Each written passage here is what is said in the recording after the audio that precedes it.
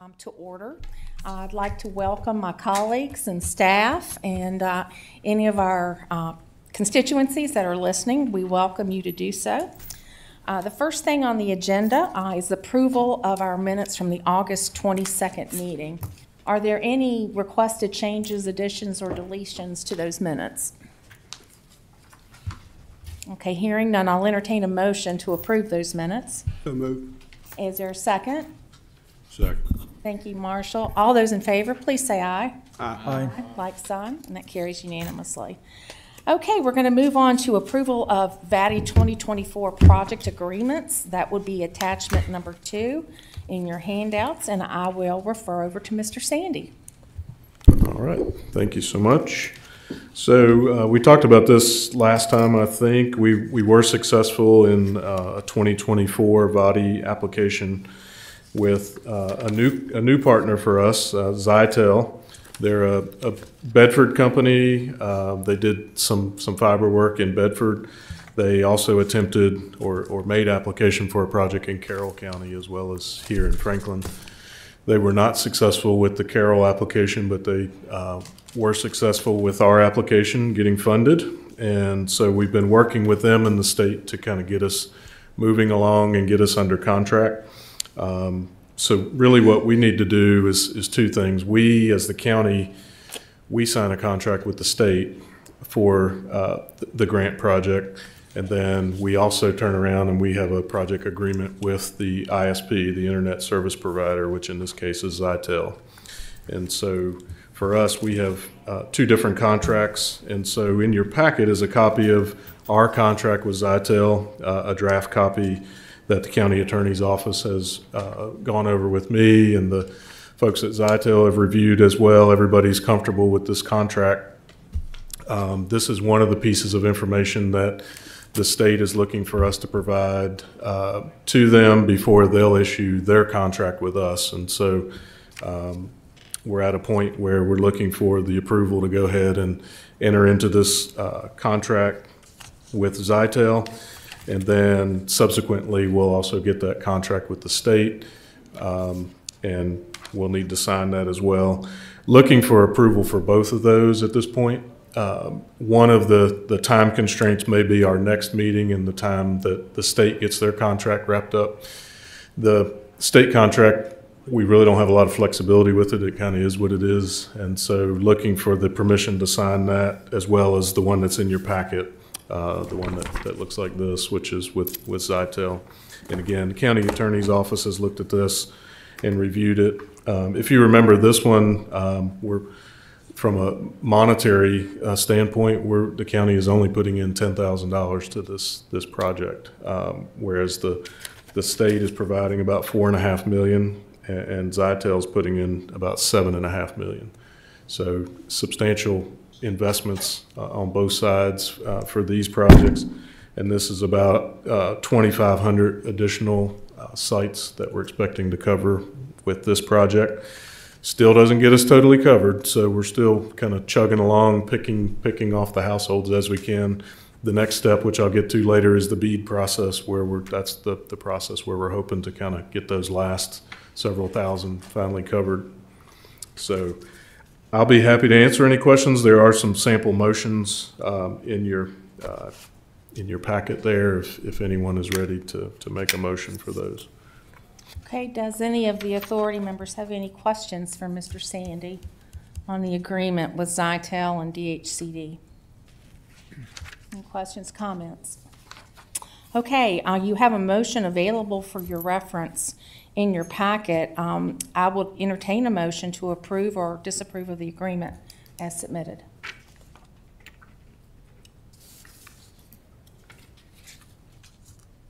Madam Chair, I make a motion that we uh, approve the uh, grant agreements with Zytel and Virginia DHCD and authorize the uh, authority chair and county attorney to sign the necessary documents to execute these agreements on behalf of Franklin County.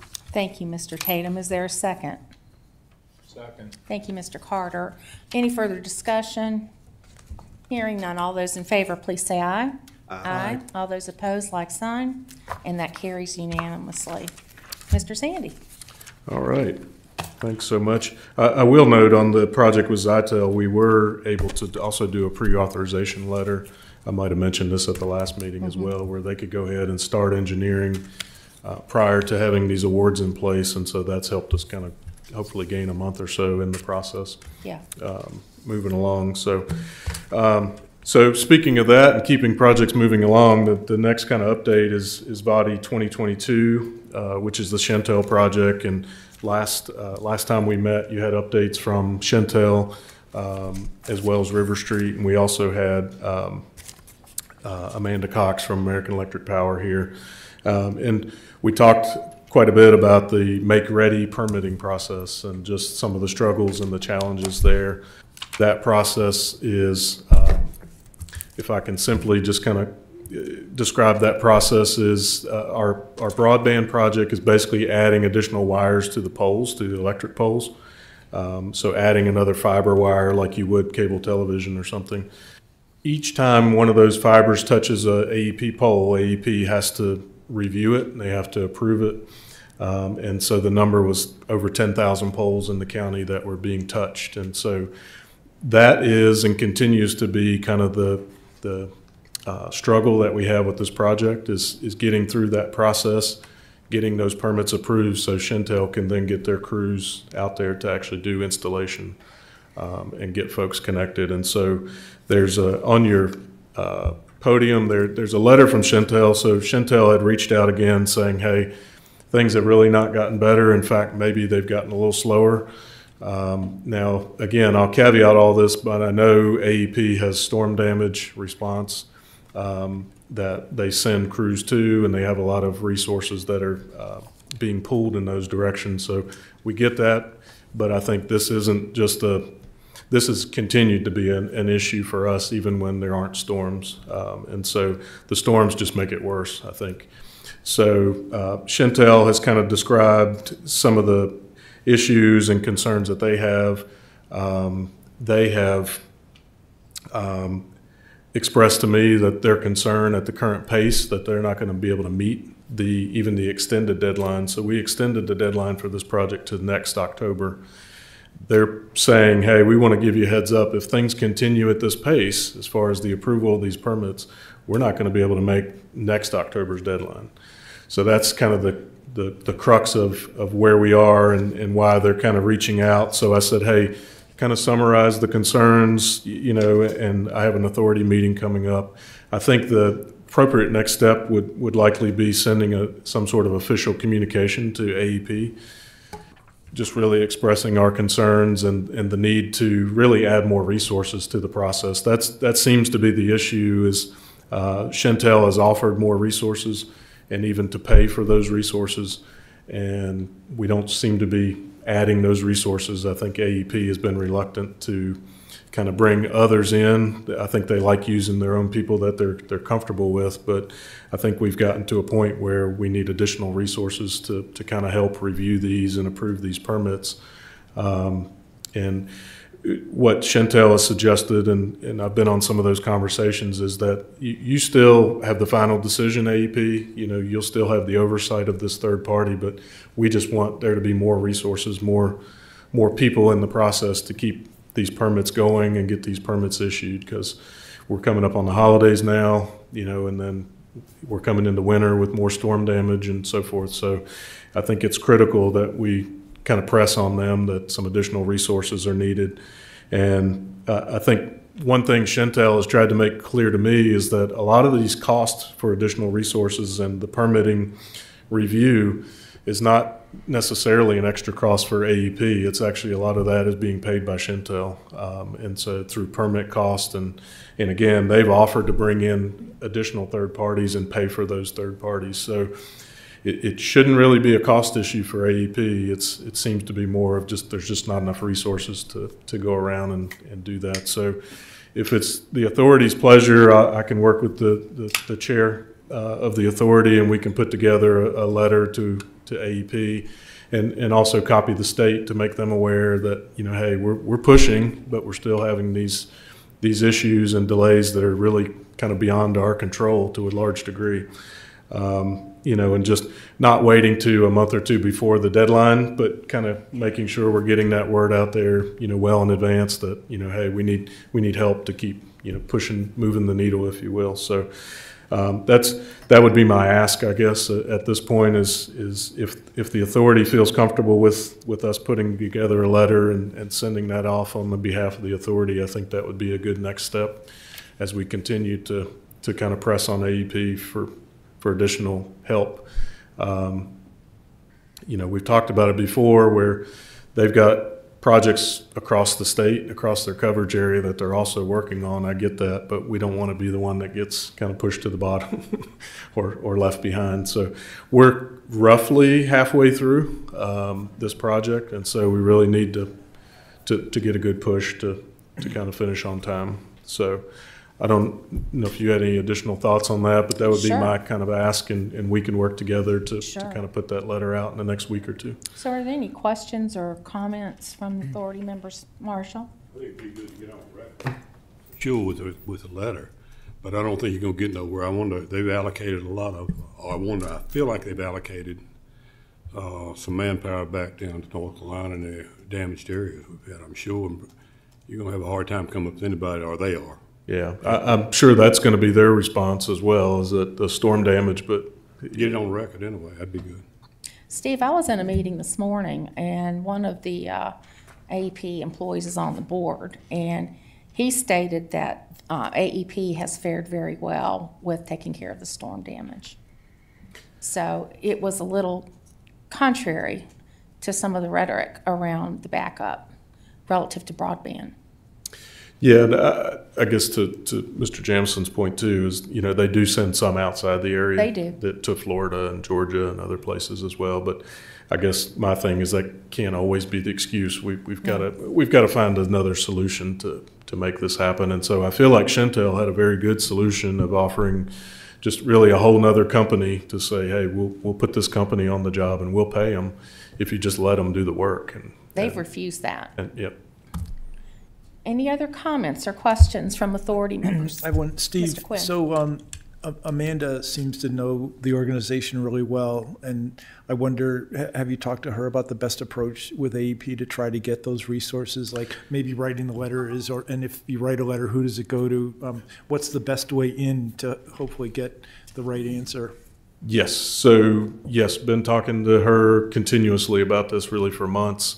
Um, the, before the letter goes out, you, you touched exactly on, you know, who, who's the right person that this needs to get to. And what I don't want to do is, is send something that puts her in a difficult spot because I think she's doing what she can. I think she, she needs help from above, I think, to, to make it happen. And so, t- to your point, uh, I do want to reach out to her now that if it's the consensus of the authority to send a letter to say, hey, look, you, you know, we want to see some more movement here. Who, who's the right person that we direct this to, and and and not not cause her more issues, but but you know, really help her help us get a Exactly. solution. Yeah, because she's on, she's part of our team. She is, yeah. I think she's doing what she can to, to help us, uh, but she, I think she's ultimately limited in some of those choices and decisions. Is that all, Mr. Quinn? Yep, that's it, thanks. Any other questions, comments?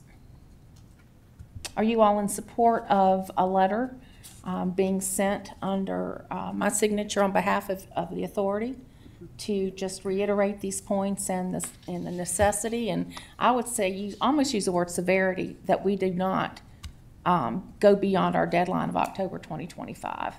We, we, how many deadline requests have we had? Two? Has it been over? over- Just, just the one extension. Just the one, ex- I thought we had two. Yeah, for this project, just the one, yeah. So, um, uh, in the uh, review, it just seems to me that it's AEP engineering and then it's construction resources.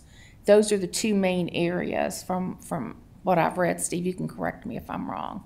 But, um, Construction as in replacing poles and so forth. yes, and if they're provider-owned poles, all, all they need to do is just evaluate whether they can add another line on it. You know, it's, it's a capacity and weight issue, um, not necessarily a new pole. So I often wonder how many of those ten thousand plus poles are there versus, uh, new pole needing to be identified.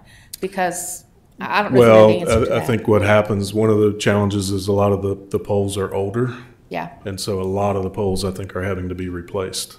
When I say new pole, that's what I meant, was you were taking the old one out and putting a new one in. Um, so I think that's, that's the time, you know, once the permit's issued, that's the, the part that takes the longest amount of time after the permit's issued is to actually put a new pole in the ground and reconnect the wires to that new pole. So I think there's a lot of those just because the, the age of the poles in our county and probably a lot of the service area of, of APCO are, they're just older. Um, and so they, they have to be replaced. And so the- we're not the only project that they have, you know, of course, they're not everywhere in the state, but they have a number of projects in their territory that they're struggling with this and, and we're also not the only locality struggling with this, I can assure you. It's, it's, it's really statewide. And so I think the, the state, we'll get into the Make Ready initiative next because that's kind of the state's response last year was to, to try to infuse a little bit of money to help kind of push, um, push things along. And so I can kind of get into that as far as what the state has, has done and what the state is looking at. sure. I'd just like to get a motion on record um, to authorize a letter to go to AEP expressing our concerns about the delays in construction. Yes. Thank you, Mr. Quinn. Is there a second? Second.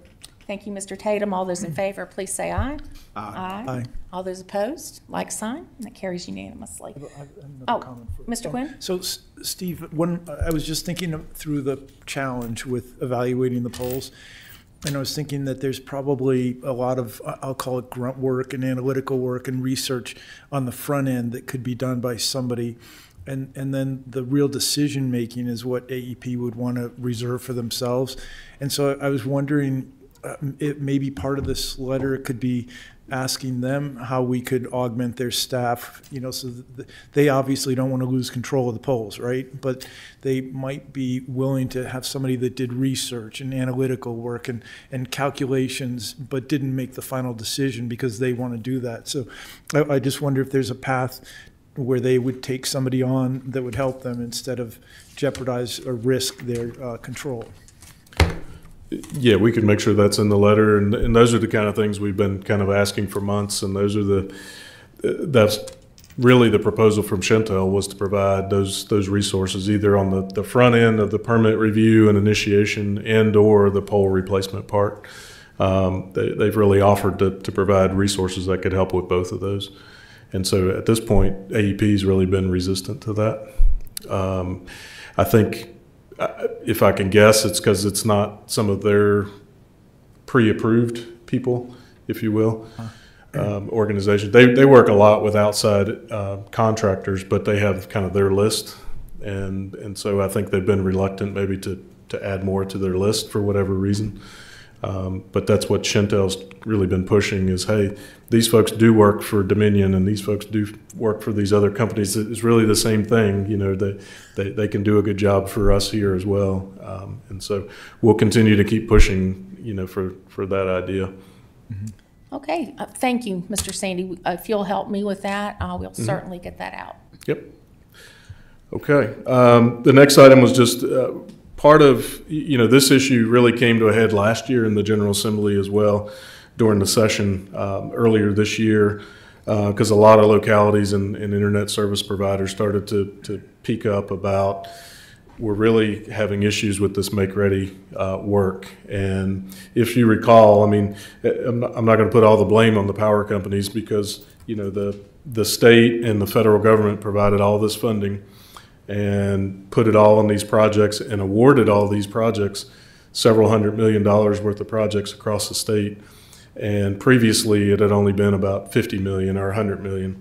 And so all of a sudden, you you know, four or five times the same amount of work and, and you're piling that on to what's already in the pipeline. And so, uh, for whatever reason, you know, I don't know if, if the power company didn't really think about this workload that would be coming or, you know, who didn't think about it, but um, all these projects started to hit and it, and it really bogged down the system uh, because there's just not enough resources to, to go around. Um, you know, same as contractors and supplies and all those things that we, we really, I think, going into this thought uh, getting supplies because we were coming off of COVID. I think we thought getting supplies was going to be the number one issue. That really hasn't been an issue. I think a lot of these uh, internet providers did a good job of kind of ordering ahead so they would have the, the, the supplies that they needed. The real issue that, that really came to a head this last year is, is the utility companies and their ability to approve these permits and make these, these changes to the poles. And so what the General Assembly did was uh, they allocated some more funding to put into a pot for what they called Make Ready uh, Initiative. And really what that was to help to offset some of the additional cost and also to provide some resources to find these alternatives like we were just talking about, like, hey, can we get another third party and, and pay them to, to do this work and help speed up the process and move things along. And so there were a number of different things that they uh, provided the funding for. And so uh, the, the first round of that just went into effect and just closed, and they just made awards. And we, uh, we worked with Shentel to basically recoup some of their costs that they had put in with some of this prepayment uh, that they had done for a lot of this make-ready work. And so um, we were awarded uh, three of these, uh, three of these grants, I guess you'd call them grants. Um, And that was really about $300,000. I think there was a copy of this uh, included um, that we were successful in getting that funding uh, in the first round. Now, I was telling the, the chair is that there's going to be two or three more rounds of this funding to in- continue to find ways to improve the processes. And if there's state money that's needed to kind of push the process along, that uh, it's available through that. And so it can be through the use of hiring contractors, hiring additional resources. It could be uh, changing how you're doing the work. So it could be putting some of it underground instead of attaching to poles. Um, and so some of that is happening. Um, I know uh, that was one of my first questions, and I know um, the chair had asked me the same thing: is well, can we just change our project to underground? Well, I think the answer is yes, we can change it to underground, but what that requires is, is really redesigning it all, which, which will take several months. Um, and then it also adds additional costs because putting it underground is, is, is typically is more expensive than, than going overhead.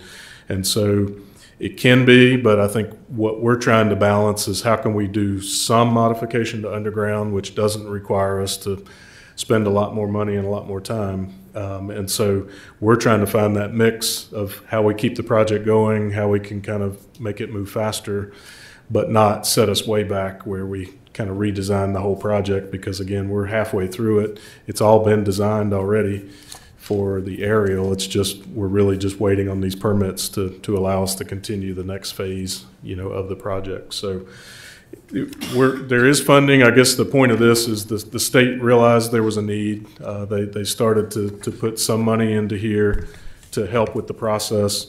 Uh, there are some more opportunities to, to get additional funding to help kind of move things along. So between this program and, and a letter to American Electric Power, hopefully we can continue to push, you know, push this project forward and, and keep us on schedule or get us back on track, um, however you want to phrase that. So that's the Make Ready initiative. Um, next is, is Mr. just. Sandy, well, can I interrupt you Yeah, for just sure. a Any moment? questions on that? Um, the Make Ready initiative, uh, is this competitively submitted? It is. Okay, all right, so it's just not readily available. It's competitive. Each round, you have certain, uh, you have to submit an application, you have to uh, turn it in by a certain Okay. deadline. There's, there's certain um, amounts that you actually can ask for based on the, the initial amount of your award.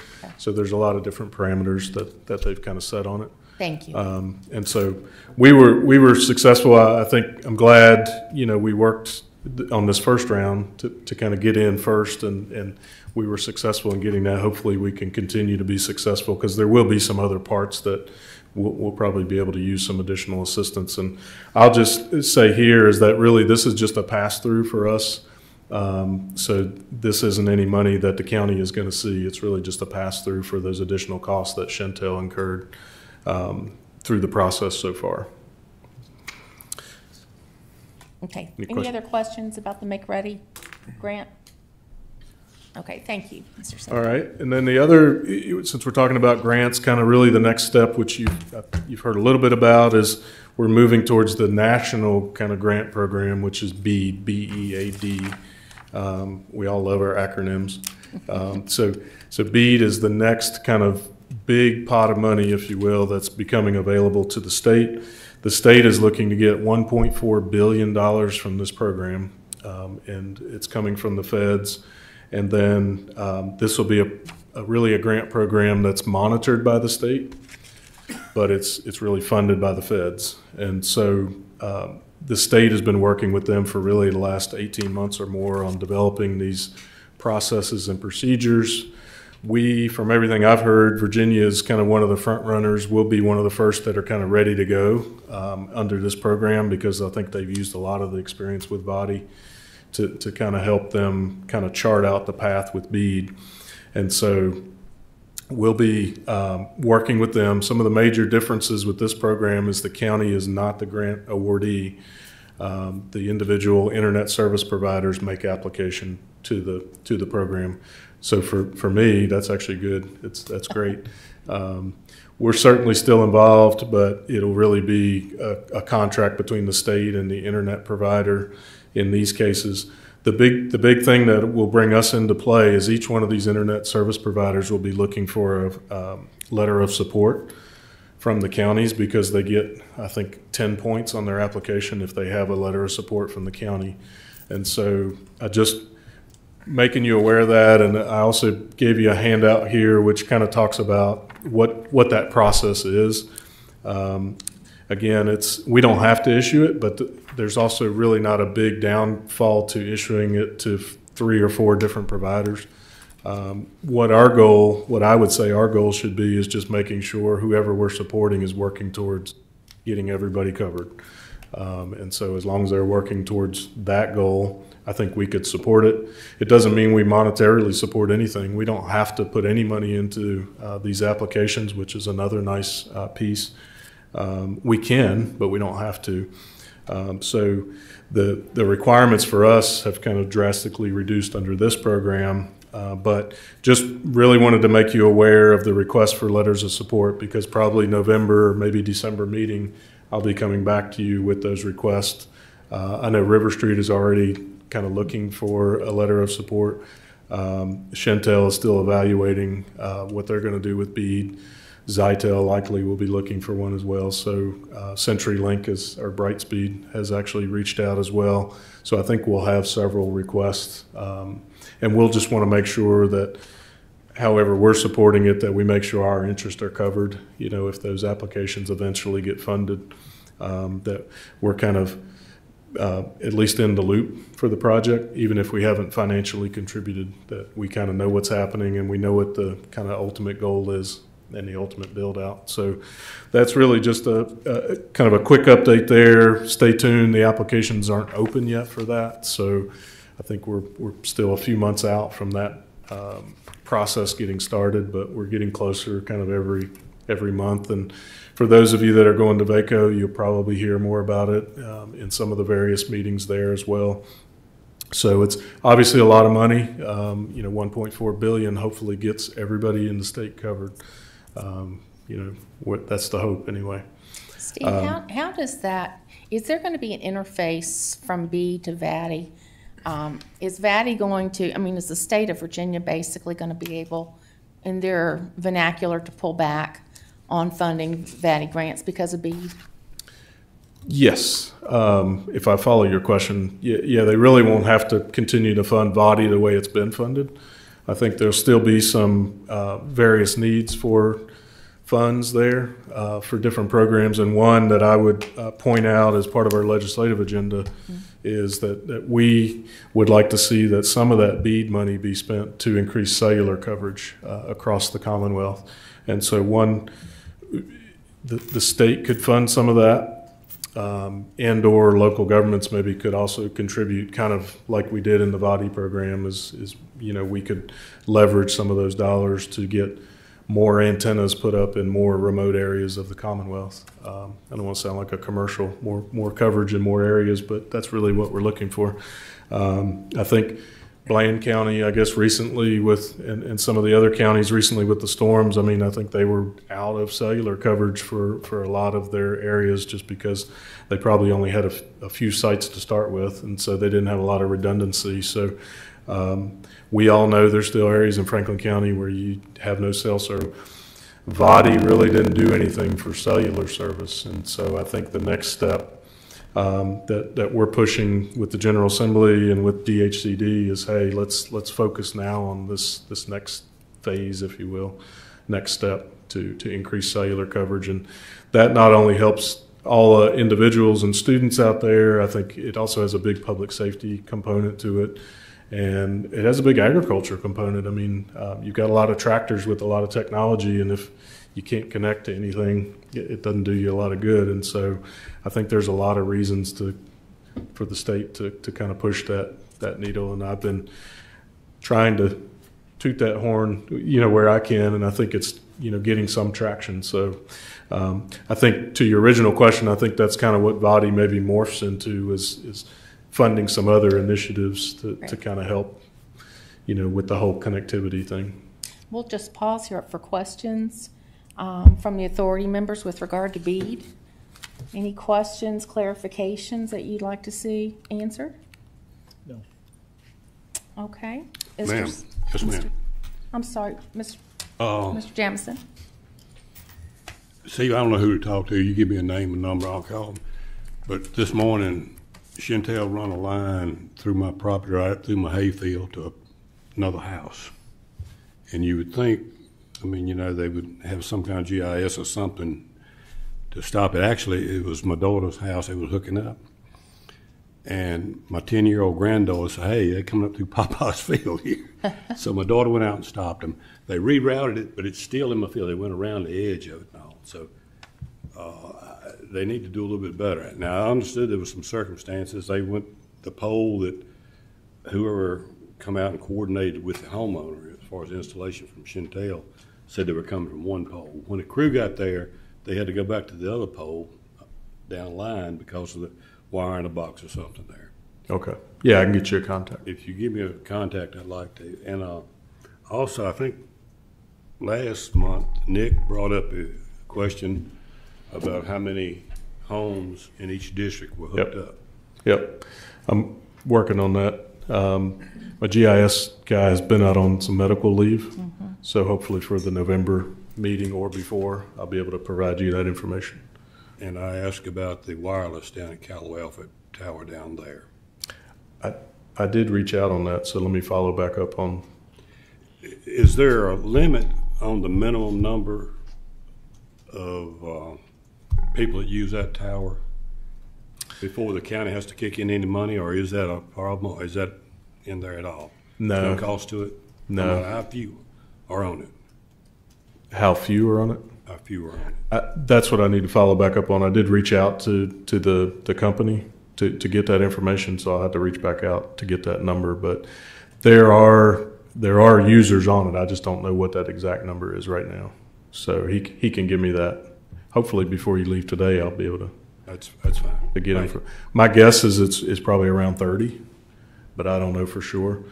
So there's there's not really a minimum. There'd be kind of the converse would be actually be a maximum. So there there would be a maximum that one of those sites could kind of hold, you know, a maximum number of users. So There is no charge if, it, uh, you know, they don't have a target number that we don't have to pay the county, doesn't have to kick in money? No. Okay, thank you. Anybody else? Mr. Mitchell? Steve, I'm gonna ask my regular broadband meeting question. The last update I was given for the Verizon at, on the tower on eight ninety was October thirty-first. For that to be operational. Do you know if that's changed or? I knew that question was going to come up. So I've, I've I was got, sitting at Snow Creek School this morning and I could not use my phone. so so the response I got was that they're still waiting on their 5G equipment antenna orders. There's a national backup. Um, their order is due mid-October, which that's next week, right, or today. Dang. Once their equipment is in the warehouse later this month, then they can allocate them to the projects. So I don't have a date for you other than that's the latest update I got is as soon as those things get in the shop, then they can say, okay, this one's going to Snow Creek, you know, this equipment is going to Snow Creek. And then they can make their application for building permit be able to put it up. So I'm still hopeful it's this year. Um, But that's literally from 11 o'clock this morning, that was the update, so. Thank you. Hmm. Steve, I do have a question. Um, Are we going to enter into any MOUs with respect to BEAD and the vendors that are working on our behalf?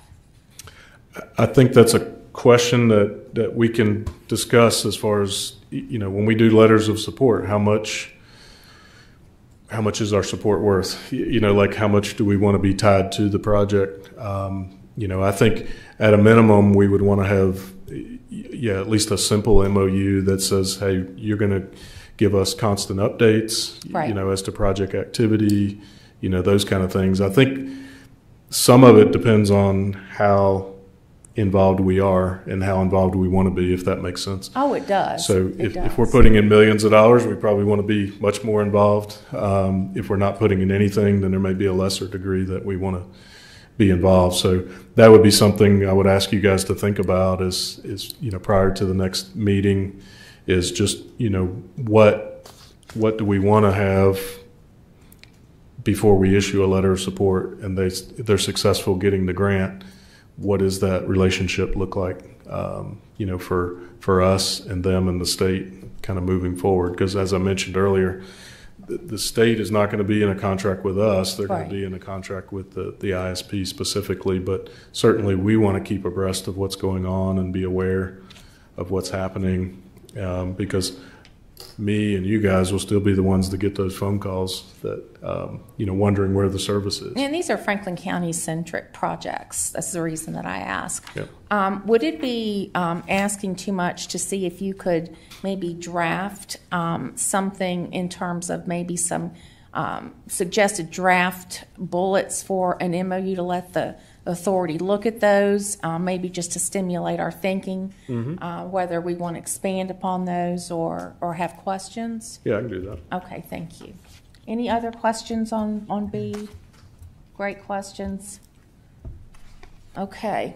Steve, did you have any other business under your updates? I do not. I think that was all I had. Okay, thank you for all of your updates. Sure. Thank you. Uh, At this time on the agenda, uh, we've reserved time for comments by the authority members. Um, So, Mr. Jamison, do you have anything? Man, Mr. Mitchell? Mr. Carter? No, ma'am, thank you. Mr. Tatum? I'm good. And Mr. Quinn? All set. And I have nothing. So hearing that, I will uh, entertain a motion to adjourn the Broadband Authority meeting. So moved. Second. Thank you, Mr. Jamison. All those in favor, please say aye. Aye. Aye. Okay, thank you all for your time this Our first line of business uh, will be our invocation and our pledge of allegiance. And before we have our prayer, I just would like to offer uh, our condolences to Supervisor Mike Carter for the loss of his father last week. And uh, I just want you to know our thoughts and prayers have been with you and will continue to be with you. But this time I ask uh, Supervisor Marshall Jamison, if he will, to uh, lead us in the invocation, followed by the pledge of allegiance by Supervisor Nick Mitchell. All Stand, please. dear Lord, we just thank you for the opportunity to be here today, Lord. We just ask that you be with us, guide us, give us wisdom, Lord, give us discernment. Lord, we also lift up the, the victims, Lord, of all the hurricane victims we've had. They, just be with them, Lord. The ones that's uh, suffered, that lost their property, Lord, also lost uh, family and lives. Just watch over, dear Lord. Just that you just continue to be with Ronnie, dear Lord, and give him a quick recovery. In Christ's name we ask it. Amen. Amen. I pledge allegiance to the flag of the United States of America and to the republic for which it stands, one nation, under God, indivisible, with liberty and justice for all.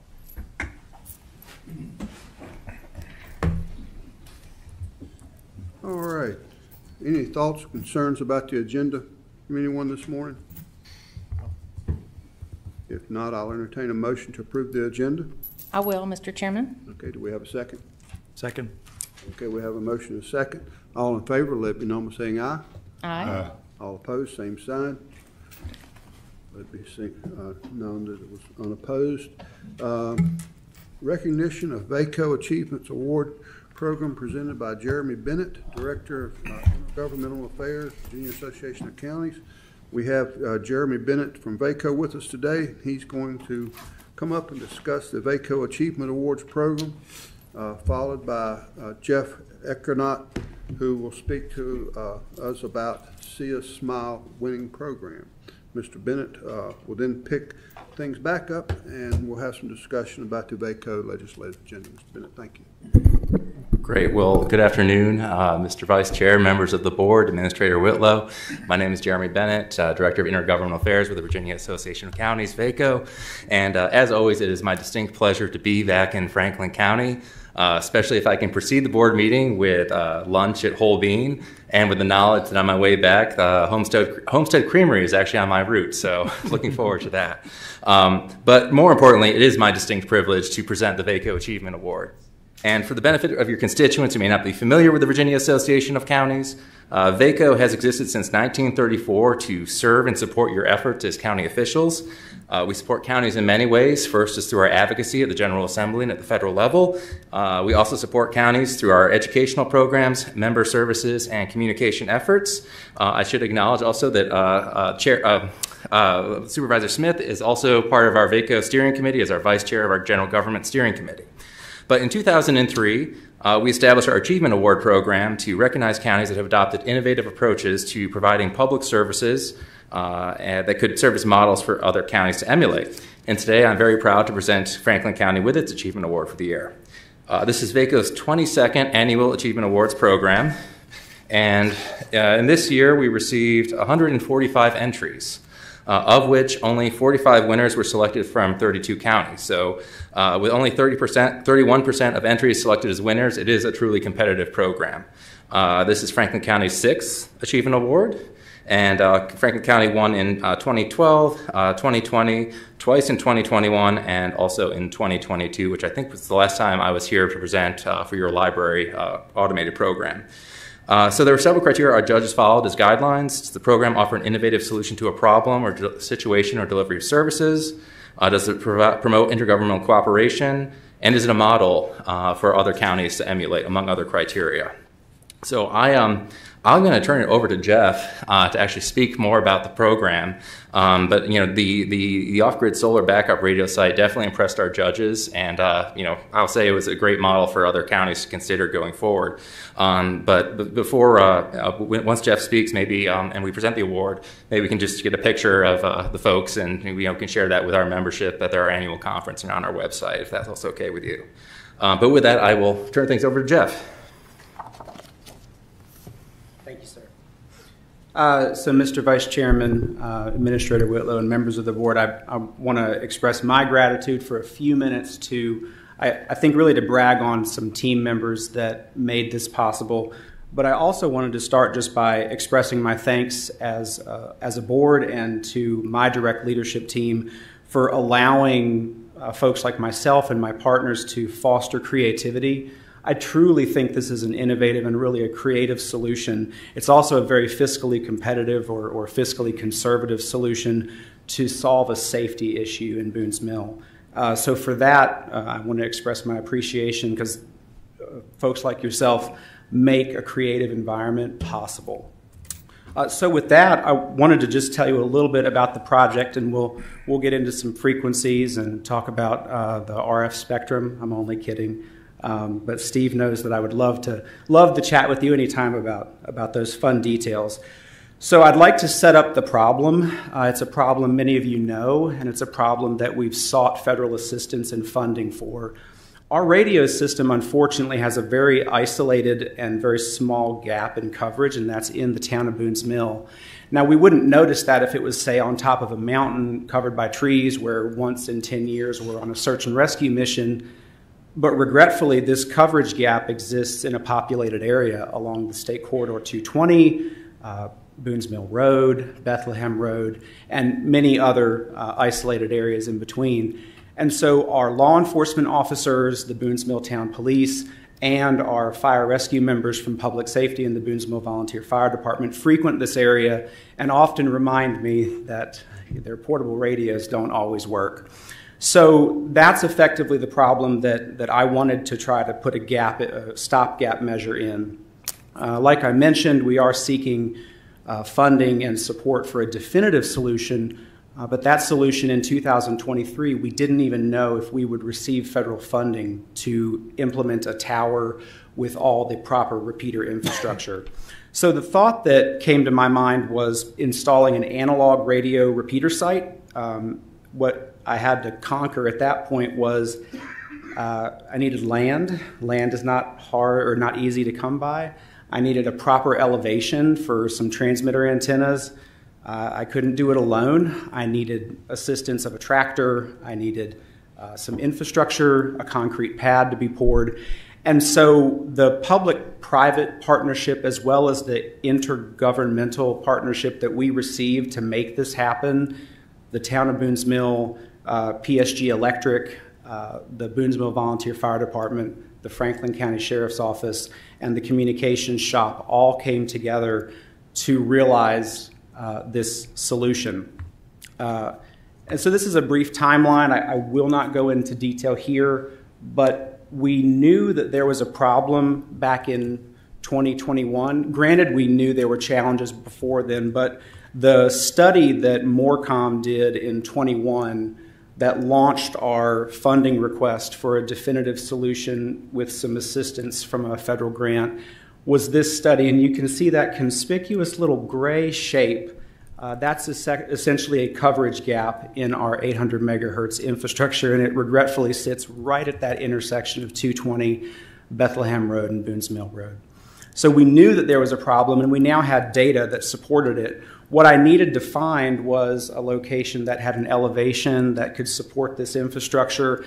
I also needed power, but I didn't want to burden the taxpayers with a costly temporary solution. So that introduced a solar option for us.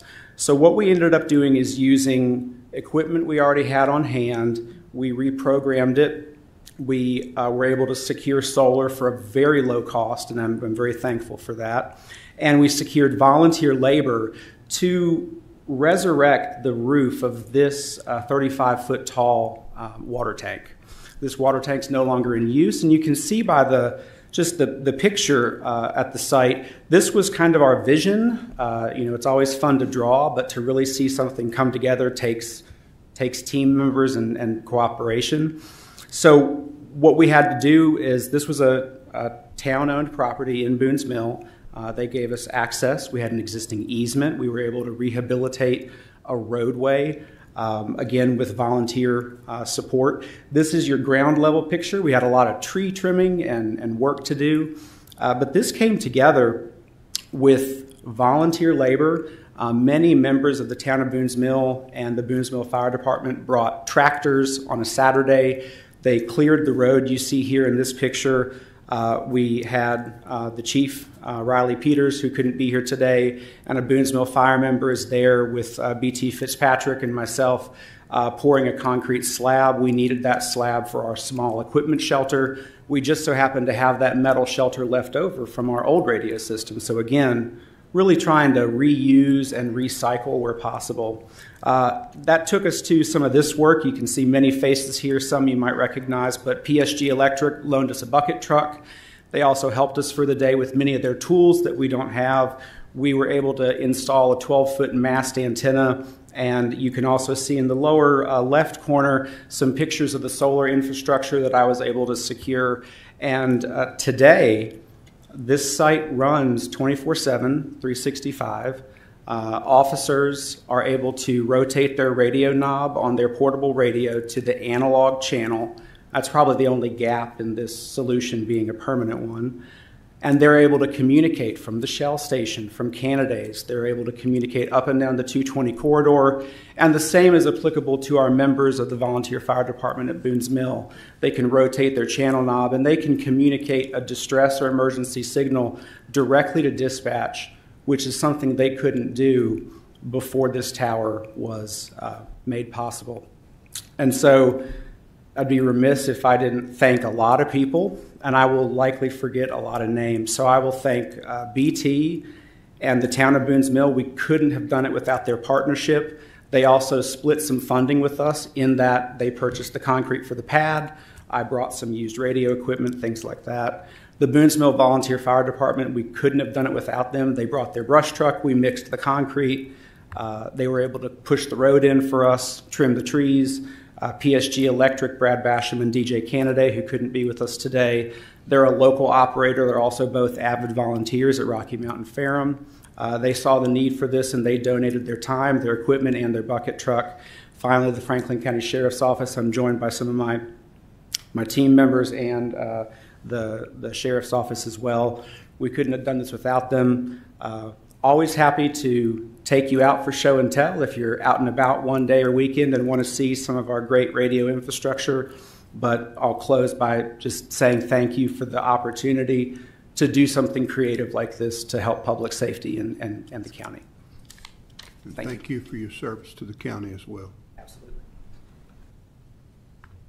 Jeff, Well, I was going to say, uh, I think a round of applause for Franklin County, first and foremost, and for the folks putting together.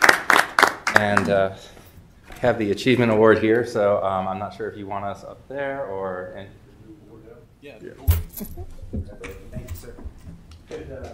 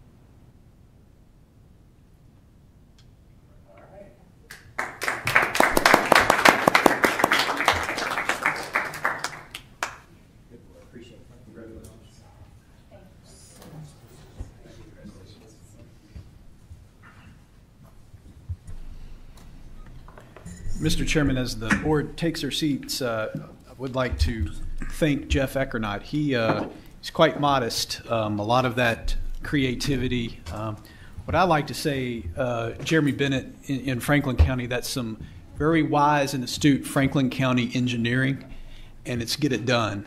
And uh, and our folks uh, continue to amaze me uh, in how they do that in our operations. So uh, Jeff, you're you're mighty modest and and your team, but thank you very much for all that effort. All right. Moving right along. Yes, sir, and I believe I'm the next agenda item as well. Yep. Uh, I was asked by uh, uh, Steve Sandy in Franklin County just to provide a uh, legislative update, uh, kind of an overview of the VACO leg- legislative process, as well as some issues that we anticipate uh, seeing, uh, some repeats, some new ones, uh, the coming 2025 General Assembly session, which uh, someone, one of my friends posted, is less than 100 days away, which is not always something to look forward to. But anyway, um, I appreciate to share that, that information about VACO, uh, our legislative process and draft priorities. Uh, we've been working this entire year uh, diligently to craft our draft 2025 legislative pl- plat- program that reflects the diverse needs and challenges faced by local governments across the Commonwealth. Uh, this process begins with our regional meetings uh, across the state. As you all know, you were kind enough to host us last year uh, for Franklin County's region, uh, where VACO staff will travel uh, across the Commonwealth or hold virtual meetings with our members uh, to solicit feedback on our existing program and, again, challenges and opportunities that you think we need to be addressing uh, going forward in the Commonwealth. So the uh, VACO staff take all that feedback from our members, from you, and we uh, draft a legislative, uh, preliminary legislative program, which is then presented to our eight uh, policy steering committees at the VACO County Officials Summit in August. Um, we receive feedback from our members on those committees, uh, such as uh, Supervisor Smith, and uh, we take that feedback uh, and make edits to the program for to be presented at those same steering committees at our annual conference in November. Uh, those steering committees will then take final action uh, from their end on their platforms, including priorities, and submit that to the resolutions committee, which is comprised of the chair and vice chair of each of the steering committees, as well as uh, VACO's executive committee, uh, will have their chance to have input into the process and then uh, that is sent to the, uh, the full uh, membership uh, during our annual business meeting at the annual conference for each county to weigh in on and ultimately ratify. So um, as we head into 2025, there are several key areas that will be the forefront of our legislative efforts. And I just want to take a few moments to highlight the most pressing issues at a high level uh, and what we expect uh, from the General Assembly this coming session, many of which you know, do overlap with uh, Franklin County's legislative program. So uh, one of our big ones and one near and dear to my heart is uh, education funding. Um, I'm sure you, have been following the, uh, the work that was stemmed from the 2023 JLARC report, there's now a joint subcommittee on elementary and secondary education that is making recommendations to the General Assembly. We're very involved with them on operational funding and restoring you know, balance in the funding formula relationship between state and localities. Uh, we also will continue to pursue efforts uh, regard to school construction.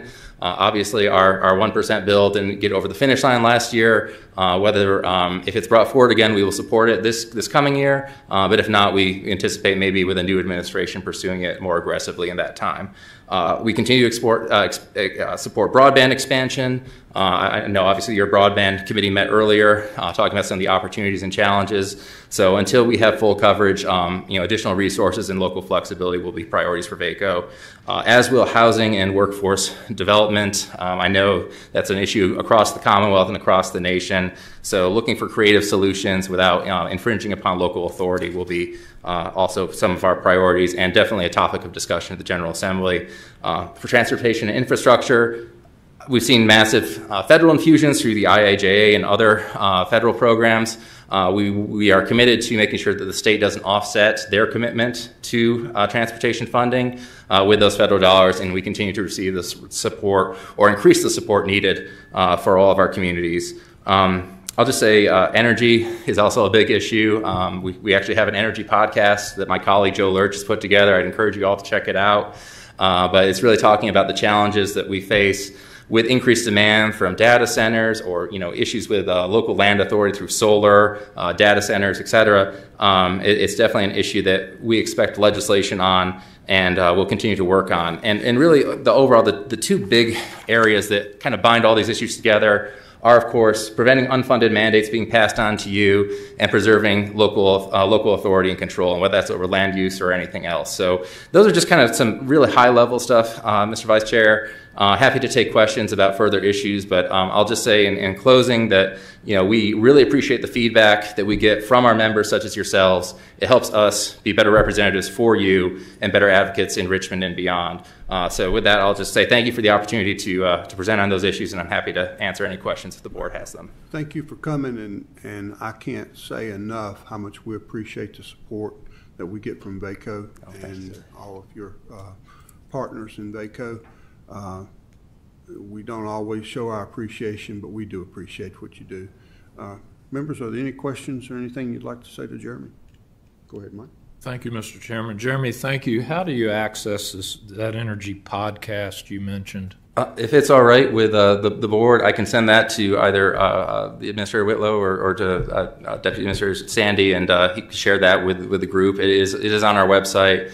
there's about four or five episodes, and I was actually, I'm, I'm, a bit of a nerd, but I was listening to some of them on the way down uh, as I went. So, um, and Joe does a great job, but I'll make sure that you all have a link or access to that so you can okay. listen Thank at your you. own time.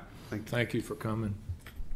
Anyone? Uh, Mr. Chairman, sure. Vice Chair, if I may. Right Jeremy, ahead. thank you so much for being with us. It's it's such a pleasure for us to have the ability to work with VACO, and I feel like you all are family at this point. All the time I've been spending with you, um, but it's time that we're all learning together, and appreciate that very much. Um, excuse me. I would say holistically and generally speaking, these unfunded mandates as they relate to school resource officers and as they uh, with the med box with you know for our on our public safety side of the picture um, these are two things that i know appear uh, with vaco and you all are advocating vigorously for those things and it, it appears on our legislative agenda as well. So we just want to reinforce i think those two things. Um, you know we're getting hit with um, unfunded mandates is kind of a pickup term but the reality is it has a real impact on our tax base and our taxpayers, unfunded mandates equate to tax increases. And, and so we've really got, we appreciate the support that you all are providing us uh, in that regard. So um, I was telling Jeremy before the meeting, um, when we as a board work on crafting our legislative agenda every year, one of our main reference points is the VACO legislative summary that we get. And we stay very closely aligned with VACO. Um, you know, and, and then we have some of the more tailored issues to Franklin County. But uh, it, it just is really good to be part of an overall effort, Jeremy, that we can hold hands and we can look to get some things done. And I know VACO is highly regarded um, with the General Assembly uh, and so forth. So again, uh, we appreciate those opportunities and we stand ready to support VACO in any way that we can. Thank you. Thank you very much. Anyone else have any questions or comments for Jeremy? Don't see any. Again, thank you so Thank, much. thank you, Mr. Chair, members of the board, and enjoy the rest of your meeting. Thank you. Enjoy your ice cream. Okay, moving right along, moving to the consent agenda. Board, what's your pleasure? Mr. Vice Chair, if there are no exceptions, I would move the approval of the consent agenda as submitted. Okay, do we have a second? Second. All right, we have a motion and a second to approve the consent agenda. Any further discussion before I call for a final vote?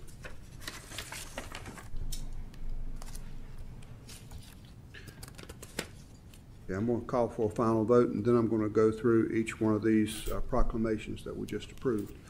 So all in favor, Madam Clerk, will you take a roll call, please? Supervisor Smith, Yes. Supervisor Quinn, Yes. Supervisor Carter, Yes. Supervisor Jamison, Yes. Supervisor Mitchell, Yes. Vice Chair Tatum, Yes. and Chairman Thompson is absent for the vote. We just, on our consent agenda today, we just uh, approved these uh, four proclamations. And I want to just uh, go through each one of those real quick if I can. The first proclamation is proclamation of Domestic Violence Awareness Month. Uh, This uh, first is to proclaim October 2024 as Domestic Violence Awareness Month. There will be an event on October 26th at 5 p.m. at the Rocky Mount Farmers Market hosted by the Franklin County Resource Center promoting safe families. And uh, I have a note here that Angela Phillips is going to be here, but I also see Katrina Hancock here.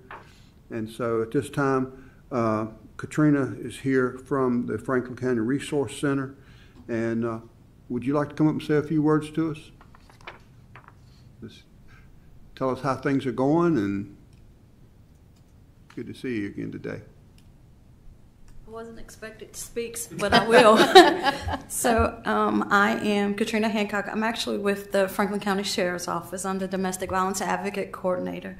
Um, and I just want to appreciate um, you all taking the time to, to recognize this proclamation. I've been doing this work for a long, long time, and the support of the community, the Board of Supervisors, the Sheriff, um, the town, all of us, it, we really appreciate the support. So. Thank you, Katrina, for all that you do. I've known Katrina a long time, got to work with her for years with, when I was with the Sheriff's Department.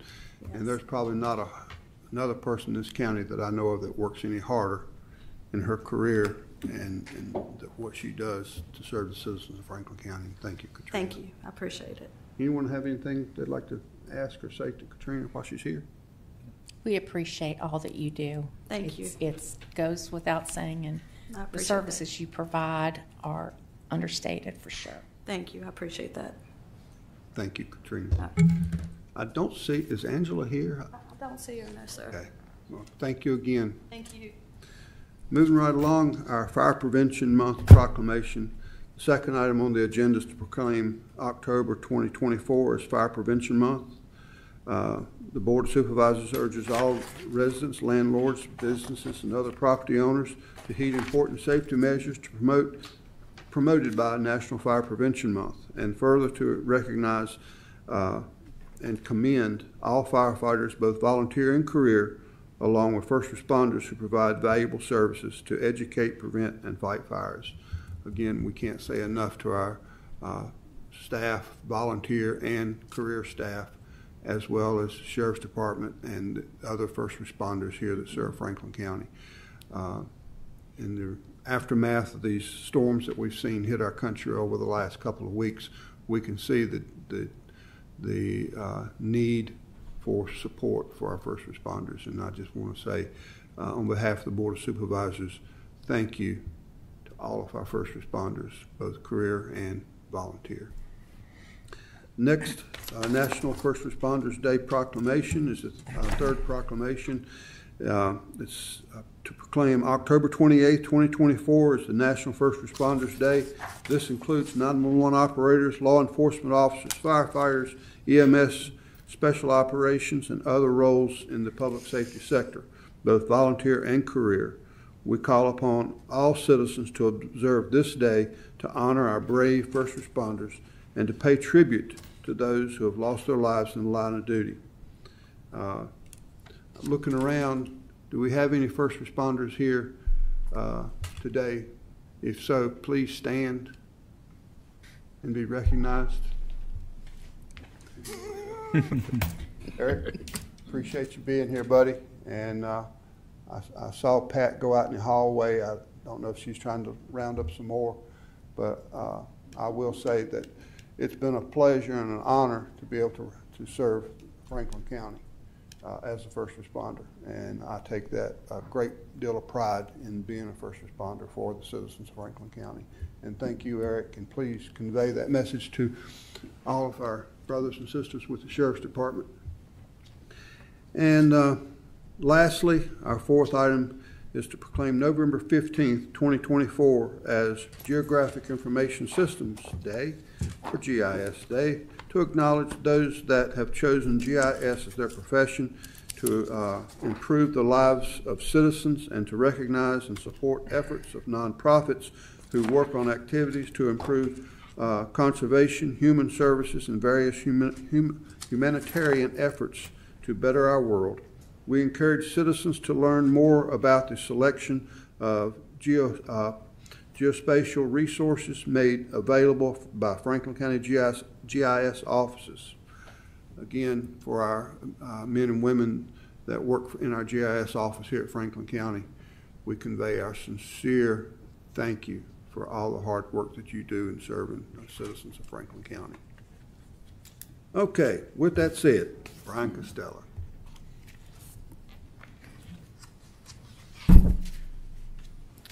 Good afternoon, Vice Chairman Tatum, members of the board, Mr. Whitlow. Pleasure to be here for the uh, VDOT road report for October. We'll begin with the um, previous 30 days of activity. Route 601 Dudley Amos is, is now complete. Um, we have on Mary Beth Hollow, Route uh, 807, we had a low water structure replacement, and that's now complete. And then on 220, we have some paving that's been completed. Uh, there are some line markings still to be installed, but they'll be coming back through to complete that work. Looking out for the next 60 days, um, really what we're doing is a lot of primary mowing. This will be our final round, so we're active on 220, 116, all of our primaries.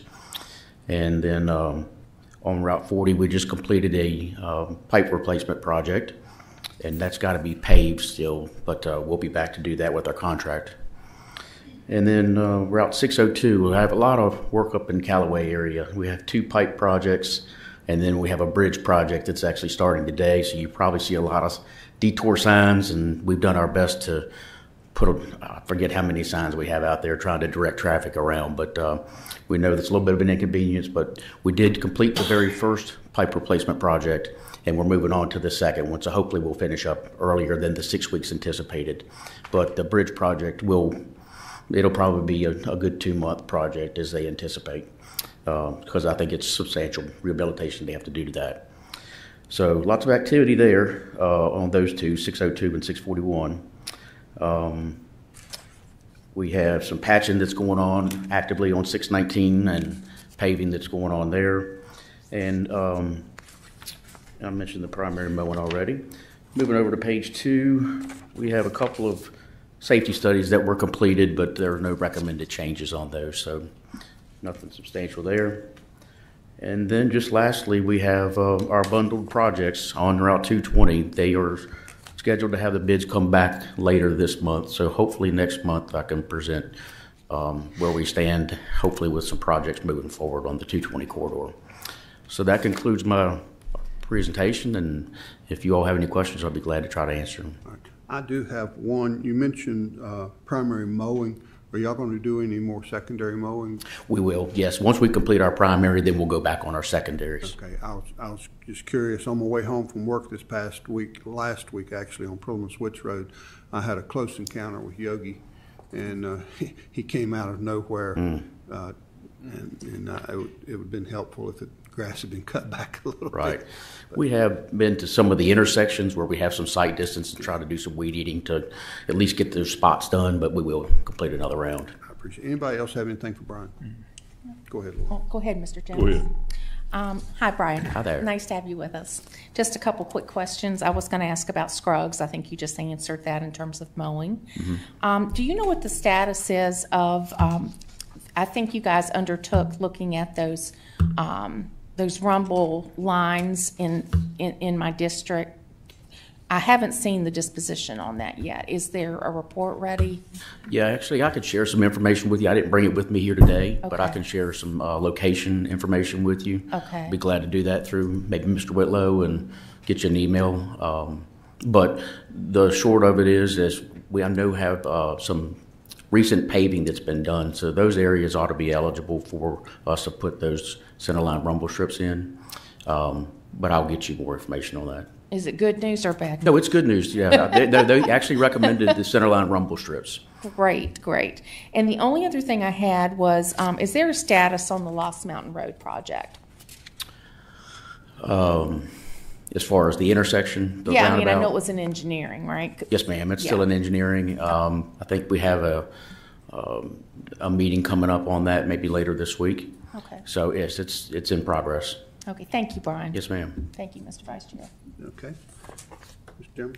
Brian, appreciate everything you're doing up in Callaway. Yes, sir. I don't know if I can get home or not, but I, If you have any trouble, give me a call. I will. well, we, it is quite confusing, and it can be because the route numbers change right there in Callaway, Callaway Road, but it's 602, 641. So trying to get those signs out there to not be overly confusing was a little challenge. I believe you got it marked pretty good. Great. Oh, what is the status on Knapp Road that we requested? It's still in our traffic engineering section being reviewed. Okay. It have any usually takes several months before we can get, once we submit it, so I know we had submitted, oh, after the meeting before last, I believe, the traffic study.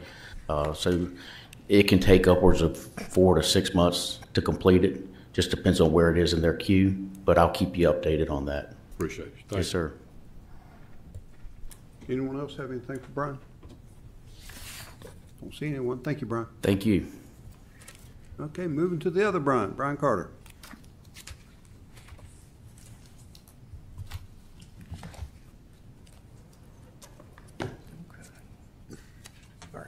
Thank you, Mr. Vice Chair, members of the board, Mr. Whitlow. So, yeah, we have two Brians and two Mr. Carters, and so sometimes it gets a little confusing. So, the um, for the first item, I have three items, so I apologize. I'll try not to wear out my welcome. Uh, the first item is our monthly finance report, and so this will be for data through September 30th, so a quarter of the fiscal year. Uh, 25% is what we would be anticipating.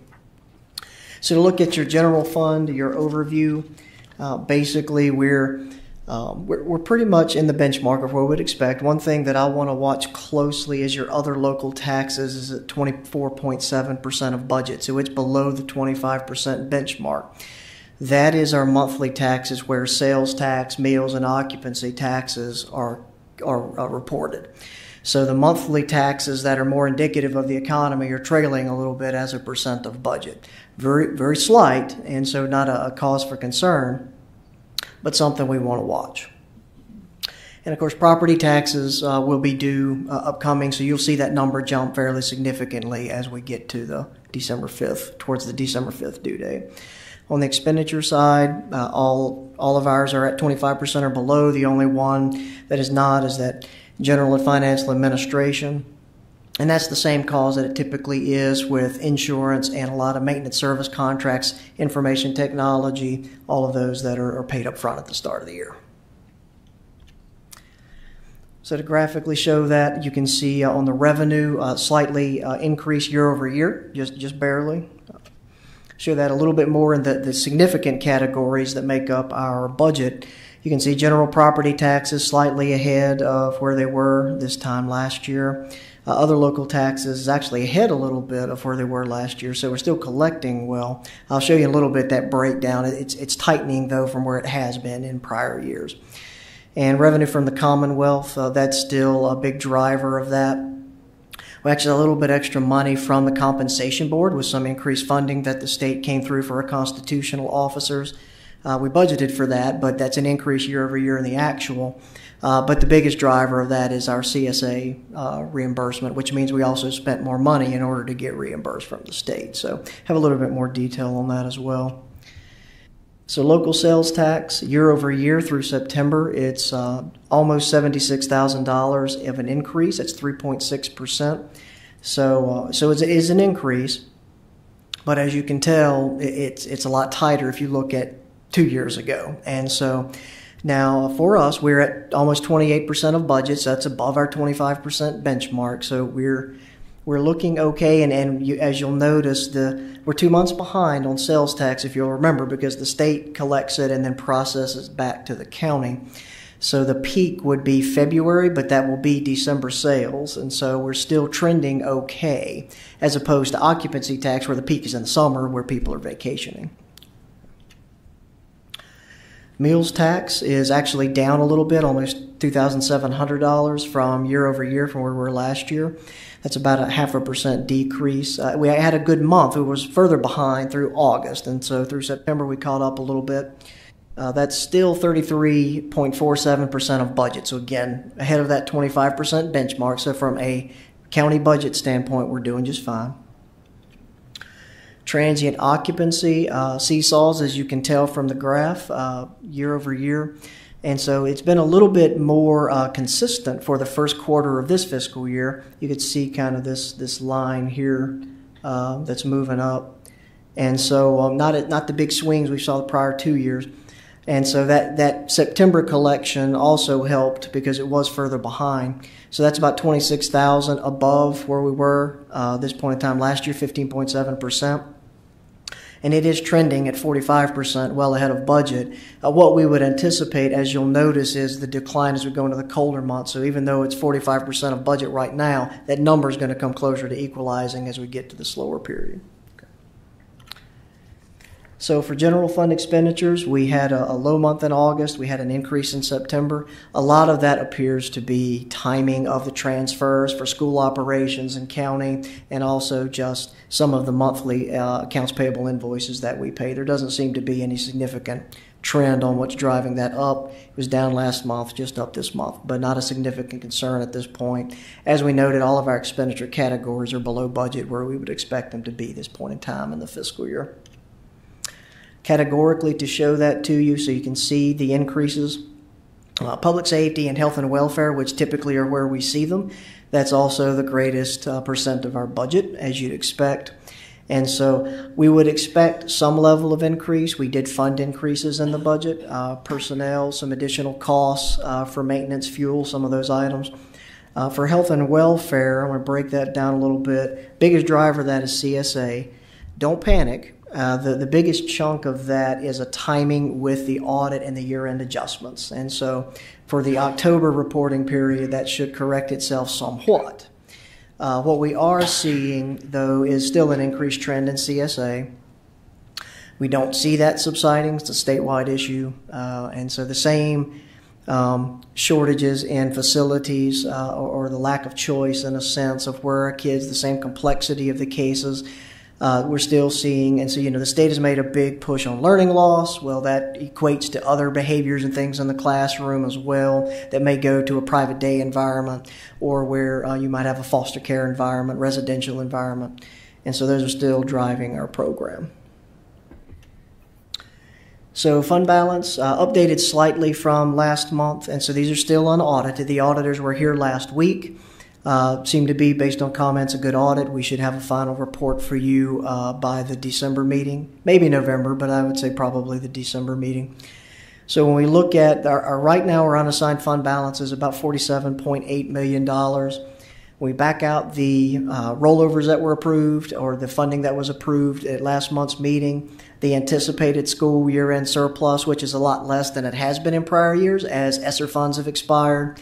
So um, the um, at a hundred million dollar school budget, you know, there was about three hundred and sixty-seven thousand dollars in cash remaining, and so that, that's cutting it pretty close. And so, um, certainly made made use of the uh, the dollars um, that they're allocated. We have our twenty percent minimum, so that's based on the estimated collections of revenues based on prior fiscal years. That's just over twenty-four million.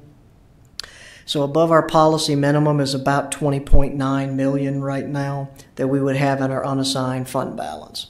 And so, and that would be consistent where we would expect. If you remember that 40-ish, 45, 47 million dollar number, it's pretty consistent with what other localities have around us when Davenport provided that benchmark analysis. So uh, it's a good uh, barometer for that. We're, we're pretty consistent with what our others are doing and uh, certainly has improved our, our standing for the financial, the rating agencies. Okay. We still have our budget stabilization of a million dollars, and our capital reserve is still sitting at $745,000. And so, economic update uh, the CPI did increase 2.4% in September. It's getting closer to that 2% benchmark rate. Uh, the, but the, the struggle is core inflation increased 3.3%. And so, and, that, and when it says core inflation, that excludes food and energy. Uh, so you're really talking uh, housing prices that's driving that. Some transportation, uh, some some automobile, uh, if I remember from the last month report, but mostly housing prices. And so we're still seeing the log jam with the higher interest rates uh, and the unaffordability of the housing market. There's just not enough supply. The unemployment rate was 4.1% nationally, it's lower in the Commonwealth. Um, and so that, that we're still, there was an unanticipated bump in uh, job growth in uh, September uh, from the loss that was in August. Federal Reserve did act. They reduced their benchmark rate by half of a percentage points, pretty pretty significant reduction. And so, the the average rate right now, uh, their their benchmark rate anticipated is about 4.75 to 5 percent. I made a couple notes. I want to make sure I got.